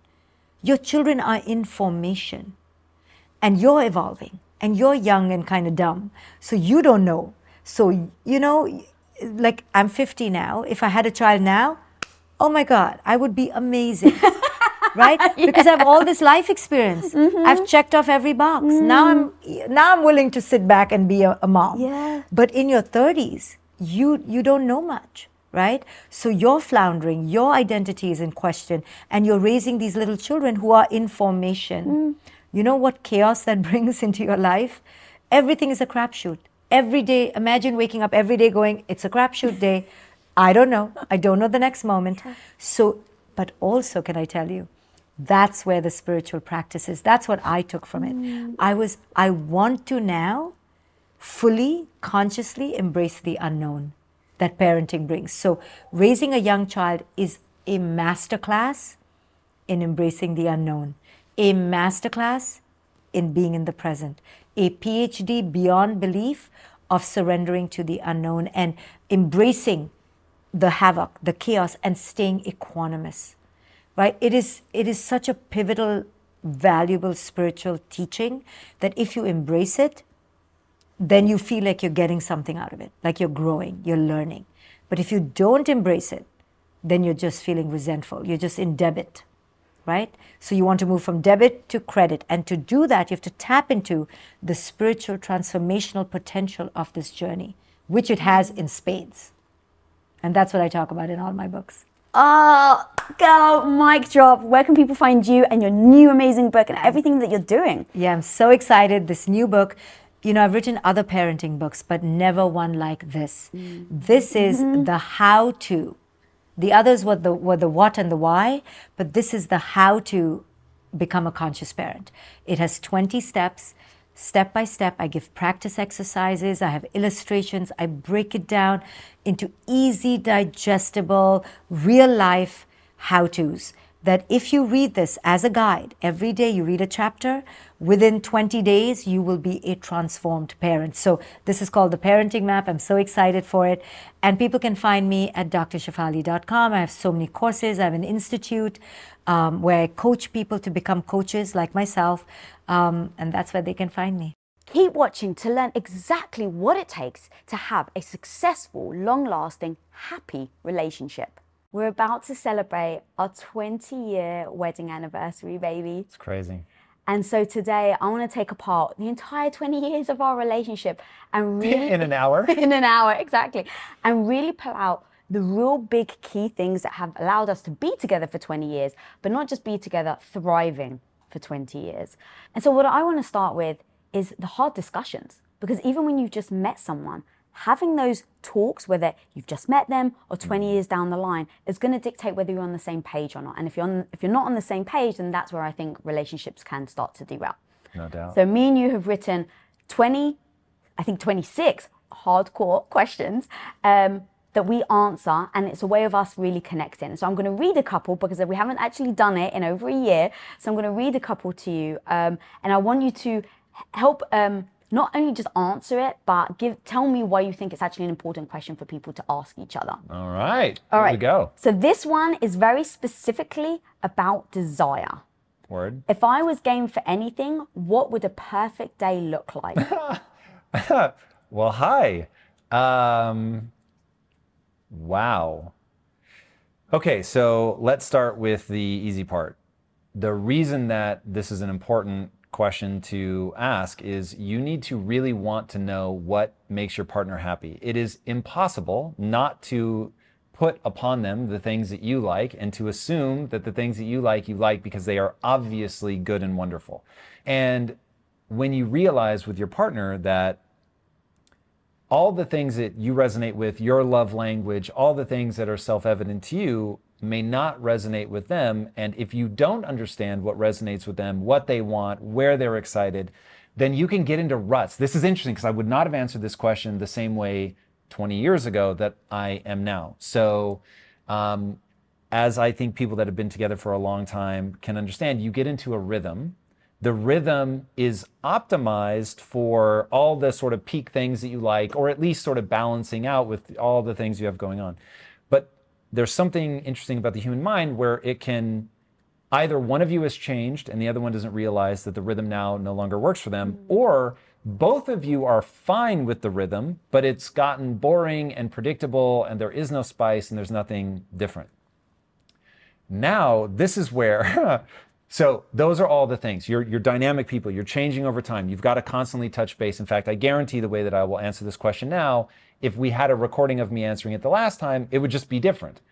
Um, so knowing that you're a dynamic system, that you're always evolving, that's incredibly important. You have to want to know how to communicate well with them. I want to really press that idea for a second if you know how I answer this question and you know sort of where my mind is at in this moment, then you can give me a gift or understanding that I will actually receive versus what you would want or what you would receive. So that's really important. Okay, so you're getting into love language, you're getting into the context of your life, and you're getting into um, neurochemical manipulation. So every everything in life, and I really mean everything sleep, eating, um, friendship, work, love. It, it is all a type of drug. We take drugs because we want to modulate our neurochemistry. We're doing the same thing in a relationship. And so at different times, depending on what I need, I would want different things. But a perfect day for me, I'm thinking about how do I want to modulate my feelings. That maybe is less esoteric than neurochemistry. I want to feel certain things. And that's ultimately what this is about. So hmm. I know that a perfect day for me is going to be definitely focus on something that bonds us and brings us together. Now, at the point in our lives where we are, where we're working so much, I am so hyper aware of the need to bond, take time for the relationship, and do those things. So today, I would want to start the day with you sitting between my legs ironically, the way that we actually started today, where I can smell your hair, I can smell your neck, which I know makes you feel like I'm steam breathing in your hair. So she absolutely hates it, by the way, but I love that. I have a feeling it's there's a similar neurochem not it's not the same chemistry it, the same amplitude that women get from smelling a baby's head mm. i get from smelling you mm. and it's like this whoa this big amplitude of like this complex ball of emotions of feeling safe of being aroused of feeling connected of deep bond that i'm if you were looking in my brain, it would be like a wet rag of oxytocin being wrung out. Like I just, there's so much complexity of 20 plus years together that goes into that smell for me. And smell is the one of your five senses that doesn't have a relay in the brain. It goes straight to the emotional centers. That's why smell will take you back to a barbecue when you were 13 in the way that nothing else will. Um, so that would be the start. Before you go on, actually, I want to address something you just said that we kind of I laughed at, but it's actually really important. So yes, this morning you were smelling me. It was I knew we had to shoot today, and um, it was like right I was on my messing braids. up your hair. Yeah, you were messing on my hair. It was like right on my braids, and I could feel like the steam. Yeah. And you kept turning to look without realizing yeah. it. I started to pull away. Yeah, yeah. And you obviously sensed it, and I didn't even realize I was doing. It was so subconscious. I was like, oh my braids, my braids, my braids. And you actually said something, and you said, babe, like it's really comforting right now. And I was like, oh, okay, thank you for telling me. And so I, and you're like, I know you're just enduring it, but thank you. Those are the moments, babe. Those are the moments where if you hadn't have said anything, I wouldn't have realized I'm pulling away because I'm just thinking about my hair, right? I'm not thinking that you're having this like super special. I'm I'm embracing the cuddle, but I'm not. Yeah, you were in a, different, in a different place, yeah. whatever. For one, I had been up for hours by the time you got right. up, so I wasn't half asleep. Right. You were sort of half asleep. Right. You're, you know, yeah. it started with your hoodie up, and yeah. so. So we were in different places. Right. So no, we're in different places you didn't think badly. You weren't like, I can't freaking believe she obviously doesn't love this me. This is why asking these questions is so important. If I didn't know you, I would read that the way it would mean if I were doing it versus knowing you so well. Yeah. I know what it means when you do it. Yeah. Okay. So what would you have thought? Because I... the first time, and I will not go into details, but the first time that you uh, reacted like that, where you were pulling away from me at a surprising moment. I, I, remember thinking I felt so rejected. Right. And when I I was like, "Whoa, what was that?" And you explained it, and I was in hysterics. I was like, "That's what you're thinking right now?" But I now know that about you. So I knew one because I have done my smelling like where my nose is like in your hair and you've said, "Oh, that makes my head feel damp because of the moisture in my breath." And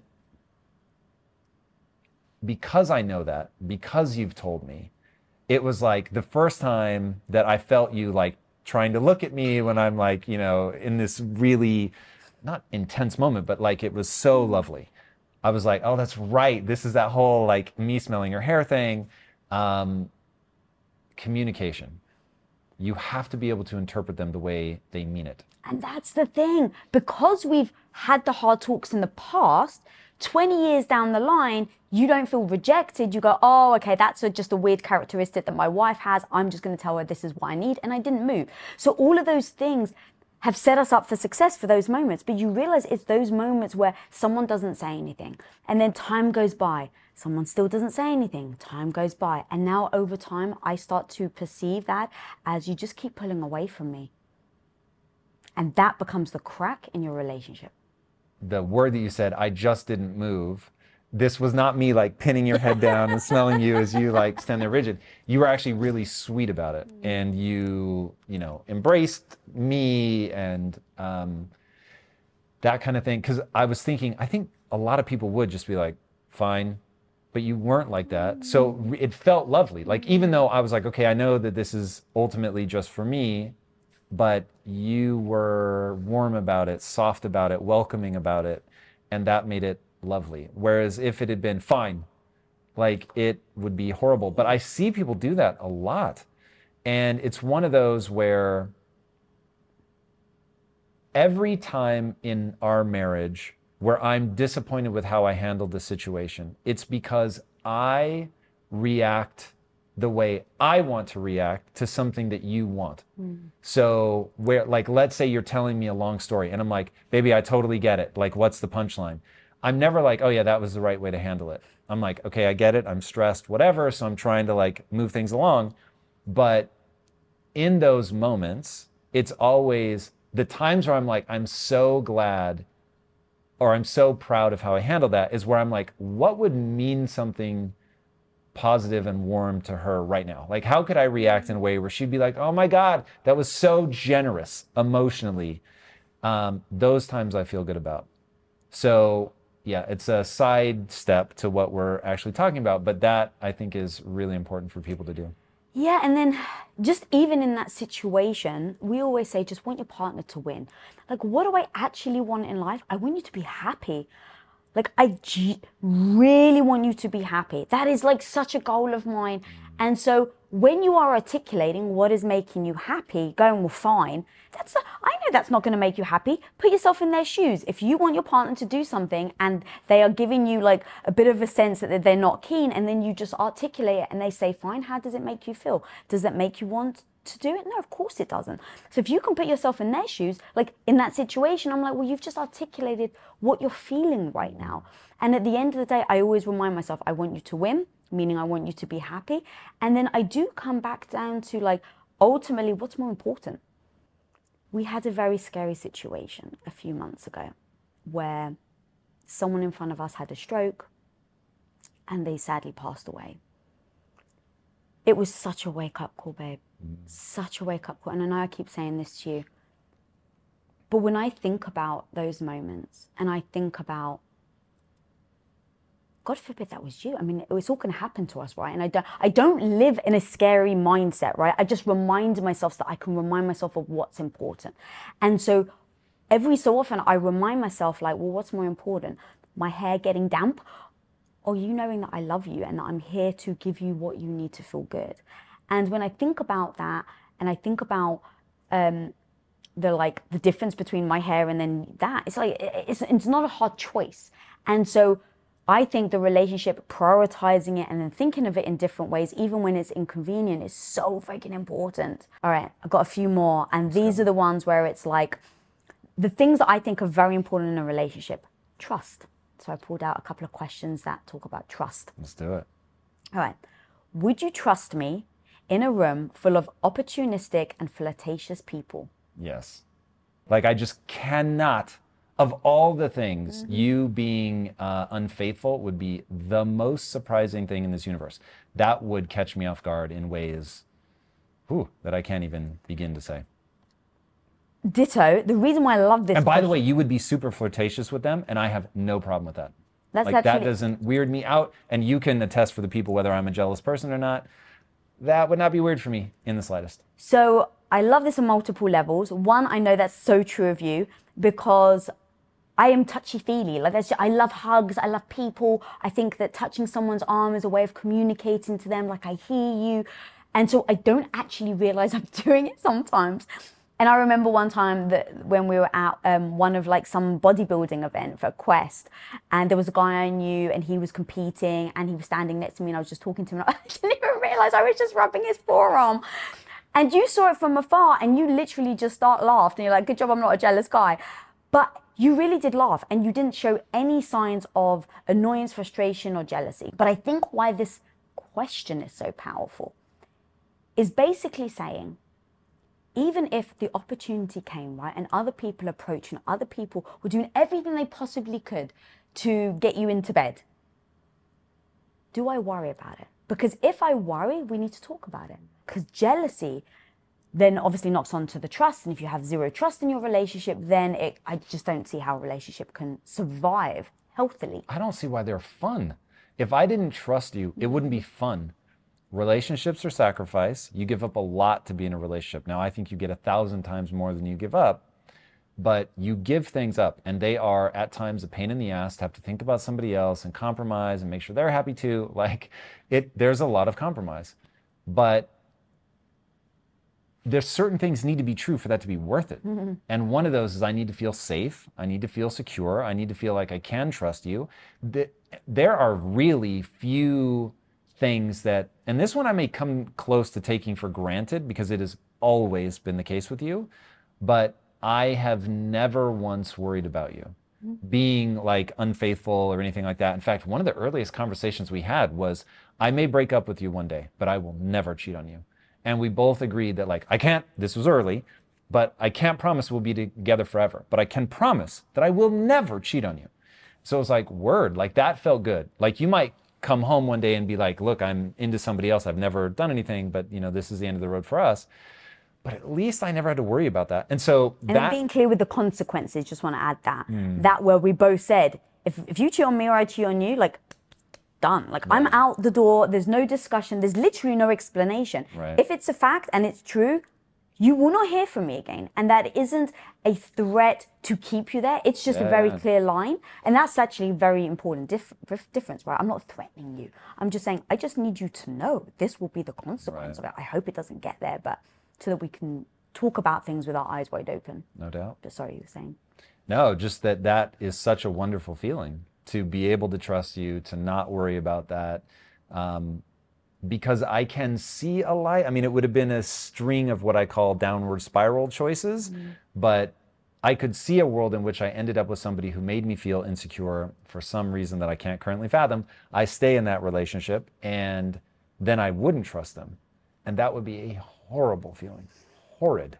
Yeah, I think I would um, interpret it to be about me and so my insecurities and all the things that I've tried to work through, you know, over the last 20 years, I think would start to rear its ugly head again. Mm. I think I would start to think of it as being me and, um, and then worrying. I mean, you know, many times, obviously growing Quest, it got to a point where you were surrounded by beautiful women. Um, you know, we owned a billion dollar company and we were the president. So it's like, there were definitely women that would flirt. And I remember thinking, this isn't about them and it's not even about you. Am I confident in myself to actually trust you and to, to, trust our relationship that we've built together? And confident enough that if you ever betrayed that, that I would walk away and that I wouldn't then create some dialogue in my head about why you did it and that I should forgive you and don't, it's, all, it's maybe me, I'm not, I'm not making an effort enough. Um, because we'd made the agreement that neither of us would ever do it. Like you said, it's like, leave me, yes, if you're not happy and we've tried everything and I'm not the one for you, or you find yourself really wanting to be with other people, like let's have that discussion and let's just separate. And I know it's never that easy. Obviously, there's a lot of situations, but me and you have had that endless discussion so that, going back to the question, we know we don't ever have to worry about that.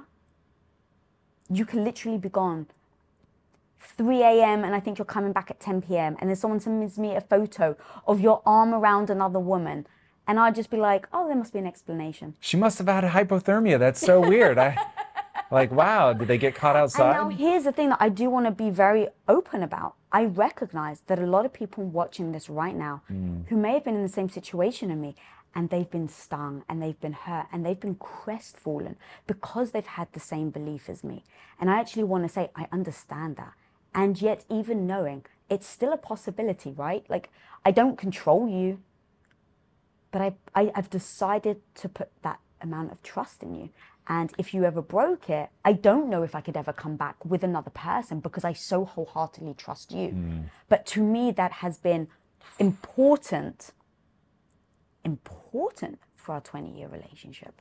Trust. Yes. Yeah, yeah, no doubt. So, for maximum value to audience, what do you advise to somebody that has had heartache in the past and wants to have a functioning relationship? Because I would say you can't bring the baggage from the past. Yeah. So, how do you get to a position where you can open yourself? Because if I put myself in the position of year 21 and you do cheat, and I see it with my own eyes, so it's not like, oh, Mm-hmm. Right, it's a misunderstanding, right. Mm-hmm. like for real. Uh, that would be that would have blindsided me so hard. Yeah. I have no indication that that's coming, which means the next time I'm- I'm in a relationship, I'm going to have in the back of my mind, but you didn't see it coming last time either. A hundred percent. Right. I literally battle over this and I actually don't have an answer. And that's the worst thing. Like, I would have to explore. I would have to look really deep in myself to actually say, um, are there any things that I saw that I subconsciously ignored? Right. and maybe there wasn't. And now, how do I? I would absolutely seek therapy. I would absolutely spend time on my own. I wouldn't get into another relationship for at least a year. I would do all the internal work because I'd only bring that to another relationship. And I've just interviewed too many therapists and psychologists on the show t- to know that jumping into another relationship wouldn't help. So all the lessons that I've learned from interviewing women on the show has been take time for yourself, don't get into another relationship, look inwards, identify the wounds, heal the wounds, and then I would then with new partners very be very open and articulate exactly my last relationship and let them know you know if it was but you know going to be serious that I, I would have to in real time work through this because i um i've done all the past work but that doesn't mean that I'm not going to get triggered again. That doesn't mean that something's not going to come up. And having told your new partner that, so they're not surprised that all of a sudden you freak out over something. We're like, oh my God, I can't believe how crazy she is. I did this one thing and she freaked out. It's like articulating that to your new partner so that they can help you build that trust back, I think is how I would handle it. I like almost everything you just said. And the only part that I will say differently is that I think as you go into the new relationship, I would ask for grace, there's no question. Yeah. But I would not think it okay for me to bring the baggage from my previous relationship to the new relationship. And I the story I would tell myself, and I think this is really important, mm. is that what makes love worthwhile is that you are in a position where they could devastate you and they don't. And it's the tension between that. It's really being able to be yourself and to be um, loved and not where they're like, everything you do is amazing. Like, it isn't that. It's that you know that you can be yourself completely, that they are they get so much out of the parts of you that are like high functioning or you know whatever the right word is that they're willing to look past uh, some of the other things like the fact that there are definitely times where i'm like yeah yeah yeah like Get to the point. speed speed up the story here. Um, that there's enough on balance you know that you really take that person in and they've meant so much to you and they bring so much to you and all of that. So but i don't think that you can have what makes a relationship worth it and be guarded. I don't think it's possible. And so i think that for my own sake and I, what i loved about your answer is there was nothing about the other person it was all about you Yeah. wisdom and so I think going into that next relationship, you really have to be able to put it aside. And if you can't, you will destroy every potential opportunity that you have moving forward. Mm-hmm. Nobody else. And that is, I say that knowing that that would be ruthlessly difficult. But that that's the very thing that will make it worth it. Mm.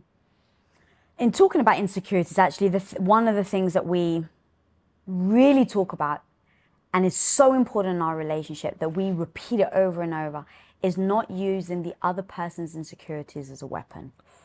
So big. So that's a big key, if you don't mind talking about that. 100%. I mean, this is really an important idea. And this is one of those ideas that you and I found early. I'm so glad we found this early. And I think part of it is just empathy. Like, I don't like to see other people be mishandled. I don't like cruelty. That's a very fast way to sum it up. I fucking hate cruelty. I try never to be cruel. I have hurt people. I've tried never to be cruel. Mm. So it's not like I say, oh, it's okay to be cruel to other people if they've been cruel to you. Mm-hmm. I'm saying cruelty is just not on the table. Mm-hmm. It's gross. It's icky. I don't I don't want to be tainted in my own mind that I have been cruel to somebody. So on your worst day, I would never use your insecurities against you as a weapon. And 20 years in to that reality of you knowing in, in my pocket right now, I know the things that I could just and cut you in ways that you may never heal from. Mm. And even though I have that nuclear weapon in my back pocket, I've never used it once. There's nothing that would indicate to you that I plan to use it in the future. In fact, if anything, it becomes less likely that I will use it in the future with every passing day because I've had so many opportunities to win an argument or get what I wanted or what and never once. Like we've been in arguments where yeah. we both know, oh, they know exactly what they could say right now to shut me down. Yeah. And they're not saying it. And mm. that is so powerful. I mean, that's the thing, babe. You can't take shit back. Like, I was so aware of that when I realized you were the one to go, what are what are the ways that this could mess up? Like, right, uh, what are the ways I could lose you? Mm. Because again, I always think about the future. What is that goal? Like, I really want to be with you to my till I take my last dying breath, and that means it's going to be hard work. Everything we're talking about right now is like you have to rinse and repeat, practice, rinse and repeat. And I always thought about what are the things that we can improve on, and where what are the ones that are no going back. And cheating's a no going back. Um, physical violence, there's no going back on that and then using the other person's insecurity and saying something that you deliberately know is going to hurt them. Mm. And like you said, I'm a hothead. So in arguments and debates, I knew I may not mean to, but it's actually quite easy for me to, in defense, if you would hurt me, just being picked on when I was a kid, like having that like backup where it's like, okay, I'm at the ready with my fists up. Um, I remember thinking to myself, you can never take shit back. And once you say it, like that's it. You it's not even the words that you say, it's the fact that you are showing the other person that you are willing to use that thing that you said you never would. That yeah, you can't be trusted with yeah. It. So it's not even the words, right? It's the trust of someone giving you their um their truth, their, you know, honest. And can we get into like a weird part of this, which sure. I think is actually really interesting? Yeah in those different states, right? Because the time where you're confessing an insecurity or whatever, you feel safe. Yeah. That's why you're doing it. And it's the fact that, oh, I see. So I when I'm safe with you, you can change though. And ah. now hiding in that person who's making me feel safe right now is a dangerous person who will use, I have the chills, who will use that against me. And that's like that ultimate betrayal mm. of it's interesting. So Jordan Peterson talks about this, how it's not right to think of a mindset as like a, a you have this external thing. It's that it's a micro personality. So when you're hungry, it's a micro personality. You're very different, right? You act differently, mm-hmm. you think differently, you may have a shorter temper when you're hungry, whatever. Same when you're tired, it's a micro personality. People with addiction issues becomes a micro personality, and that micro personality can take over in any one time. So when you're having this deep connection, right, we talk a lot about being unguarded. And so when we have things that we really want to discuss with each other, we don't just blurt it out at any moment. It's like there's kind of a window of, you know, like two or three days around where it's like, I really need to talk to her about this, but I'm going to wait for a moment where she's unguarded. There's like a real mm-hmm. sense of connection and trust, and then I'm going to broach something. And what's really going on there is we've both synchronized into these micro personalities of like that holding that space for trust and empathy and connection. We're really feeling it. We really want the other person to win all of that. And if you ever feel like in that moment, the dark side of their personality is lurking, like, yeah, yeah, yeah, give me that information so I can use it against you later. Oh, God, that'd be horrible. It, it, that's why frenemies are so terrible because they want you to, yeah, yeah, yeah, give me that friendship juice so that I can use it against you. Like, it's just an absolutely atrocious feeling. When you know that you're dealing with a bad person, you just don't give them the tools. It's when they're both good and bad that you now have a problem. And so I'm just going to capstone that by saying that's what makes not using somebody's insecurities against them so important because what you're saying is at my worst, I still don't reach for things that are going to hurt you. All of my micro personalities, you're safe with. That's so strong.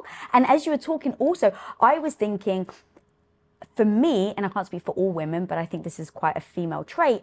Um, when that happened, I then beat myself up about the fact that I freaking trusted you in the first place. It's like, for heaven's sake, right? And now the the loop of the negative thoughts of not just like, oh my God, you trusted him and you, they used it against you, but it was like, I shouldn't have freaking done it in the first place. What was I thinking? I knew I shouldn't have, right? And now it's like, you couldn't trust your own feelings because in the moment you thought you could trust him. So see, now you can't trust yourself, Lisa. And now it becomes this whole like internal self blame of myself, but it's something that you've done. But now I'm blaming myself for trusting you in the first place.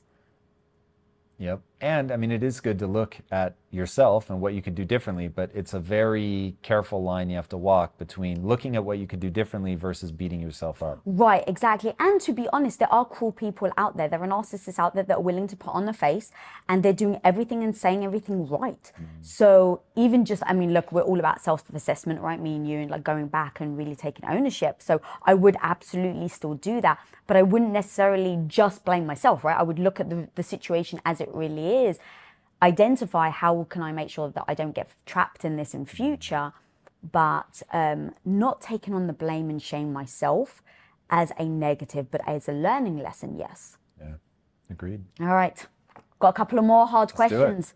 Um, so we covered desire, the honesty about desire, communication, trust, and now I want to talk about the hard truths and communicating the hard truths. What is the one trait you thought you wanted that I don't have? That you wanted in a partner? Yeah. Oh. Why is the man. question powerful? The question is powerful because, again, this is you want to know where the other person is. And there's one thing that people need to really understand, and it's they're already thinking it. So the only thing that you're protecting yourself from is knowing what they're thinking. When I when I heard that about radical candor, it's like people don't make it up to say it to you. They're already there. You're just asking them to be honest. And when I heard that, I was like, oh my God, that's so true. So it's important to know because they're already there. They're already thinking it. That's already a real thing for them. Um, and one, if I'm empowered with the knowledge, it might be something that I can actually give them. And so then it's like, oh my God, I had no idea. Like that, that's a thing for you because usually what it is is just a disconnect between something that you would receive well and what I would receive well. It's not that I don't want to be what you know would be exciting for you or whatever. It's that I have a default mode, you have a default mode, and they don't always result in giving the other person exactly what mm-hmm. they would want. And so knowing what the other person is into is really, really powerful. Um, I actually don't have an easy answer for this one. There have been times, though, in our lives where I would have a very quick answer. I will say there is something that you used to do for me that you don't do anymore. And that is, I miss being nurtured the way that you nurtured me before going into entrepreneurship. And that was, I had to mourn that. Now, you really want to see me happy. Mm. And as you were saying that, I was like, oh my God, like seeing you happy makes me so fucking happy. And like seeing you work on the book has been amazing. You are so happy. You're having so much fun. And one, we will play this clip because I, I will just tell you right now, from a social following perspective, you were always meant to be have a way bigger audience than me. And like we were racing towards that. You were just like gaining so much momentum. And I said that two years ago. I was like, oh, homie, you're going to be way bigger than me. So seeing the way that you light up and and being able to connect with people, especially other women, and like seeing the way that they respond to you, that makes me so happy. You have no idea. So it's been that trade-off. So I do miss that. I'm not crying myself to sleep at night. I don't like lament it, but yeah, that is something that if I were going to say, "Oh my god, I have this woman who's fucking incredible." could I optimize even more? Like that would be something that, yeah, would be awesome for me, but I don't often think about it. It's such a tricky question. Because when I say tricky, is you have to definitely have the openness to discuss it and not take it personally. Because, like you said at the beginning of the question, is it really is about maybe it's something I can do right? And look, there's no pressure. I don't have to do it. You are with me. And if I say, hey, this is something I'm never going to do, now it's up to you that a relationship you can be in or not. Um, but going to wanting to make the other person happy, if it's something that I can do that maybe I didn't realize, now you've just enlightened me. You've brought more knowledge, and maybe you just didn't want to say it, right? And this is let's go to me being a housewife and then an entrepreneur is if you never told me that you missed the nurturing or that was something that was going to be hard for you to let go and that we need to mourn together and what, how do we do it together and how do I wean you off, as I like to say, where instead of putting your clothes out seven days a week, I did it five days, then three, then two. Um, that was how it, we were able to get there. We were able to do it together. There was no, hey, this is what I'm doing and you just have to tag along, right? We were on board, we did it as a team and then you just being honest about how that was impacting you and me not taking it personally and even just the way you explained it all it's like you, i feel you wanting to champion me. So i don't think of the other thing as a negative but it is also a way of delivering it right? And just how you delivered it makes me go oh my god of course i want to like you know um, cook your dinner and take care of you on the weekends. And it's like that's the happy medium that we have come to where i still get to do it. And you say to me hey this is really meaningful if you do this it then gives me the space to be able to do it. Instead of blinking a year, two years, three years down the line, me thinking, well, he supports me. Like he's always supported me in business. And then finding out that there's something that you're unhappy with. Mm. Um, that I could have gone, wow, I could have done that. Like, it doesn't mean that I have to completely transition back, but I can make the effort, an hour a week, make him some dinner. You know, like whatever. I think a lot of people get themselves in trouble because of one simple idea. I want them to know that it's important to me. I shouldn't have to tell them. oh my God, people derail on that. Like that makes me so sad for them because you're so close to having everything you've ever wanted. All you have to do is tell the person because they don't see the world like you see it. It's not like they're sitting there thinking, I know they want this and this means so much to them. I'm just not going to give it to them. And so when people think, oh, you're thinking and feeling exactly what I am, but you're just reacting in a different way, which makes that action then seem spiteful. And so people feel rejected mm-hmm. and unloved. And a lot of this, I hate that this is true, but a lot of this comes back to parenting style and their attachment style. And so if they have historically felt abandoned or whatever, then they're going to bring that into the relationship. But if, on the other hand, instead you're thinking, okay, they're seeing the world totally from a different perspective, and it absolutely makes sense to see it from where they're coming from. Can I steel man their position? Do I know what they're going through? Like, do I know how beautiful or wonderful or whatever this thing is? Or maybe they just, just not even thinking about it. It isn't meant as a slight, like they love you. And if you mm. told them, they'd be like, whoa, okay, amazing. Like, let's find a way for me to give you what you're looking for without feeling like I've just given up myself. Mm. But if you don't say what it is that you want because you're waiting because you feel like they should know what you're thinking and feeling and you shouldn't have to tell them, yeah. It's like it's it's it is literally like a cellophane veil between where they are and the world that they want to live all I have to just poke through and like that one thing. And just to add to that, you know, I think a lot is like, well, they should be happy for me, right? Like he should want this for me. Instead of acknowledging, yes, you do want this for me, but you're a person and you you've got the feelings and you've got the emotions. And right now the first step is you need to mourn the transition and the change. And if you can't vocalize that to me and i'm like well what's wrong? You're not happy for me right? And now you're putting on a fake front and i can sense it. And i'm like wow there's something wrong and he's not quite being you know. And now that's how you then start separating right? Because mm. i'm like well i'm so excited. He, you know i'm not sure why he's not. And you're just like i'm excited for her but i do feel sad and i am going to miss this but I can't say it to her because she's going to think I'm not happy, right? And now you sense these dynamics between you, but neither of you are saying it. Mm. And I think one of the biggest things that me and you have done is mourning either the people we thought we were going to be or each other. So for me, I had to mourn the thought that I was going to be a mother, even though we decided and I was 100% on board with not having children anymore. I still needed to mourn the person I thought I was going to be and the, the mother that I thought I was going to be. Mm and allowing yourself that space to then mourn it so you can move on, right? Because if me and you hadn't had those open discussions about me changing, if we hadn't had the hard truths that you said, hey, look, this is going to be difficult for me, you know, and you still saying that, like, yeah, I do still miss, it's just a great reminder. If we hadn't have done all that, I think resentment would have just built.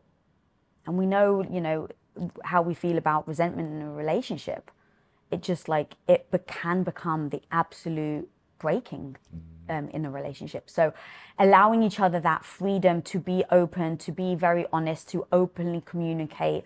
Um, these transitions, I think, has been massive for us with no judgment. And so when you said that to me, I didn't take that personally. I didn't think, well, he doesn't want my happiness. I just go, okay, he really wants this. And that's, you know, you didn't say it was important to you, but you said, I'm missing this. So now every week I do, I make an effort and like on a Saturday and a Sunday, you know, I'll put food together for you and that makes me feel good. Me too. All right. So I got, um, so that's the hard truth. So we've covered desire, trust, hard truths. Um, and now here's a very hard one. So we wrote these questions out in order of difficulty so that you can lean into it and go, yep but we're always about let's just get to like really hard ones. Let's do it. Deep end. All right. What's the one thing I could do that can make you reconsider our entire relationship? Ooh. There are actually several things that you could do that we've already talked about today. So, one, if you were unfaithful, that would be very traumatic because I, just, I have no signs of that whatsoever. Um, if you did use my insecurities against me, that would be really horrible. And if you became mean spirited, like that would not be fun.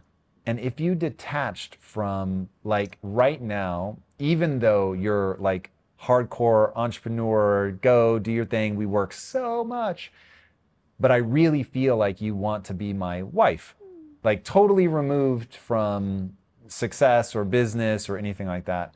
And maybe even more importantly, I feel like if life set it up such that you had to make a choice, that you would choose me.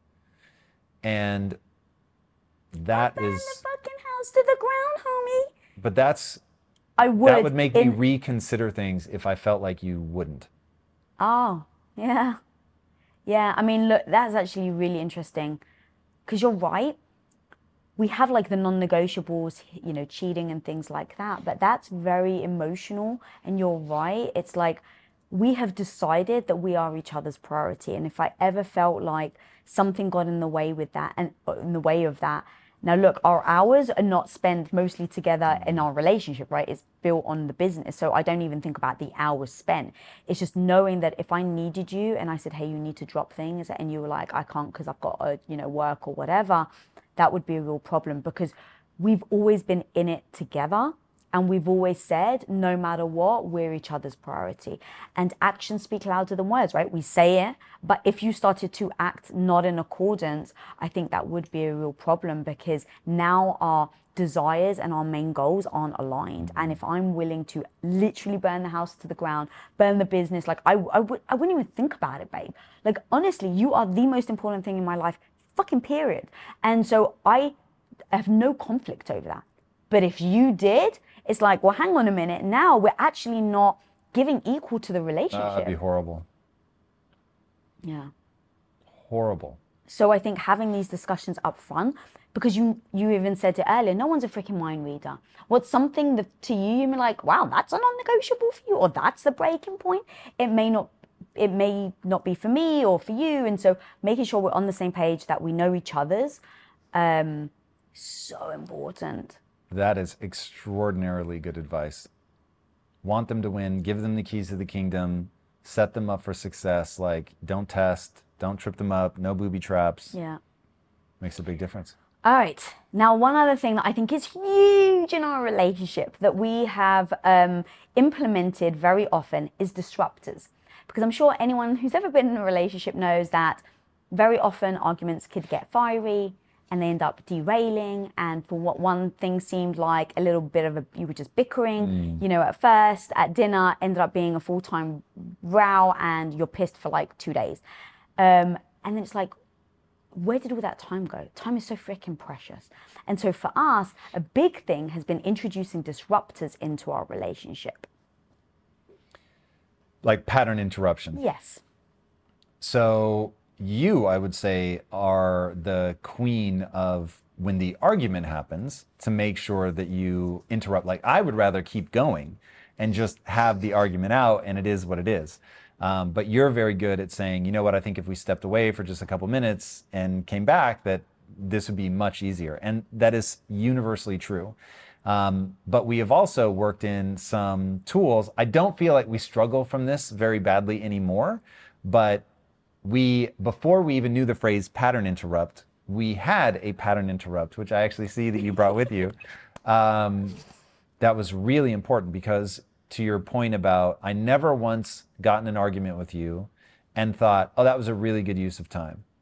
It's always like you end up getting annoyed and you end up losing like most of the day. And it's like, oh my God, like this is such a waste. And so we came up with the idea of the love token um, as you came up with the idea of the love token. Um, I will show people at home. there it is, as a thing because you were asking yourself in the middle of an argument, do I believe that he loves me? And as long as the answer is yes, then I know we'll get to the other side of whatever this argument is. Um, and so we used to each carry one of those around. And look, we were in our 20s, you know, not as good at emotional management on our own side. And so to avoid that, we would give each other that coin, and that you had an obligation to the marriage. And the obligation was if somebody pulled out the love coin, which they would not do lightly. I- what, you give it to me once, twice, Yeah. ever in our entire marriage? And the second, the second they gave it to you, instantly, boom, you change your neurochemistry because we had talked that we control our moods. Oh, really? Well, then, if you control your mood and I give you this coin, you ought to be able to, on a dime, immediately be like, baby, and completely let it go. It is the most extraordinary trick. And so then we got to the point where we didn't feel like we needed the coins, but that either one of us at either time could go like this baby! and the other person, no matter how angry you were, the only acceptable response was, baby! and so you had to do it back. That's worked so well. It's really, I know people watching at home are going to be like, that's really silly. That works so well still to this day in our marriage. Yeah, it's because the amount of times we got into ridiculous arguments, like heated screaming. I mean, do you remember Or the even the ones that are legit. Yes. Oh, yeah. I mean, here's the thing: they all feel legit in the time, Right. Right. You It's- were about to say a good one though. Remember the time? Oh, remember the time when we were in Amsterdam and we got into an argument Oh my and God, I stormed off and got lost? Yes. That was That so hilarious. So it wasn't like we can be like, all right, where are you? Yep. So we got into this freaking heated argument. We've been looking forward to it. It was before we had like it was before we Oh. got married. So I saved every penny to take you on this trip. Yep. And literally we spent hours arguing and then hours apart. And so I was like, there's got to be a freaking better way. Like this is Mm. ridiculous. Because when you make up, which most people do unless you actually break up. When you make up, you literally feel all the chemicals are again. You're like, oh my God, I love him. You know, and so all the, the annoyance and the hate that you maybe initially had is completely gone. It doesn't feel real to you anymore. So in those moments, like it would reflect and be like, what the fuck? Like this is a, a time is so precious. Like we had spent money, you know, we'd saved up, we'd gone on this trip, and it was like, and we've spent half of it not together, upset with each other. And it just felt like, okay, well, if you can control this situation, right, you can control how you react to situations and your conversation. What are the things that we can do to snap ourselves out of it? Because it does take a snap. It's like, you know, the thing where it's like you're in an argument and the phone rings when you're like, oh, Yeah. hello. Hi. Yeah. You know, so that is an example that you can disrupt and change your mood. It may Yeah. not feel real, but you can change how you're outward, your speaking, and your tone. Yep. So we were like, how do we do it? And I needed something physical. So I found these love tokens at some random store and I was like, this is actually a good size. I put it in my handbag and I was like, I just need something. You need the olive branch. And then we sat down and we said, what do we place meaning? What's the meaning we place on this chip? And you just expressed, right? It means this. It means that no matter what I'm saying, I know you love me and I feel like we're arguing over silliness and I'm reaching out to you. And so agreeing what that means, agreeing how then you respond to it, like you said with the baby, um, we've agreed all those things. And so we've set them in place so that when we're in the argument, when it happens, you don't feel like screaming baby. You do not and feel you like screaming And I remember once where you didn't reciprocate. And then so I got mad. And then you realized, shit, I, I can't believe I didn't reciprocate. So you came to me and I was mad at you. And you're like, well, babe, now you're not reciprocating. Right. And it becomes this spiral. And then we just started laughing because it was like, oh, yeah, shit. Well, hang on a minute. This now just becomes an effect where you're each just affecting each other. Right. And now no one wins. And so the fact that you were like, this is ridiculous. And then I just laughed. Um, but those are the things you have to do. Because if you don't, you end up in a either a death loop of that specific argument or it becomes a pattern in your relationship. And there's no way out. There's no solution. And that's the thing. Me and you go, okay, we're, we're in a difficulty now, you know, with, around, you know, over the 20 years, there are phases in your relationship. And so whatever phase we're in, we address the phase and we look to see what the problem is, and then we come up with a solution of what that problem is. Preach. And disruptors were a big one. No doubt. Yeah, that that has continued to serve us well. All right, Billy, where can people find you? Uh, I'm always sad when these end. Uh, at Tom Bilyeu. All right. everywhere, everywhere. And guys, if you freaking love this, Tom and I do do relationship theory. We have a channel on YouTube where we take subjects and we go deep on them. But thank you, baby, for coming on. Thanks for having me. I always course, love being with you on this. on. Guys, guys, if you're not subscribed, click that subscribe button down there. And if you're not following me, follow me at Lisa Bilyeu. And until next time, be the hero of your own life. Peace out. Click here right now to learn how to find and keep real, true love. They've had bad breakups, they've dated the wrong person, they've struggled with connection, maybe they've been abused, whatever it may be. And one question I'd always ask people is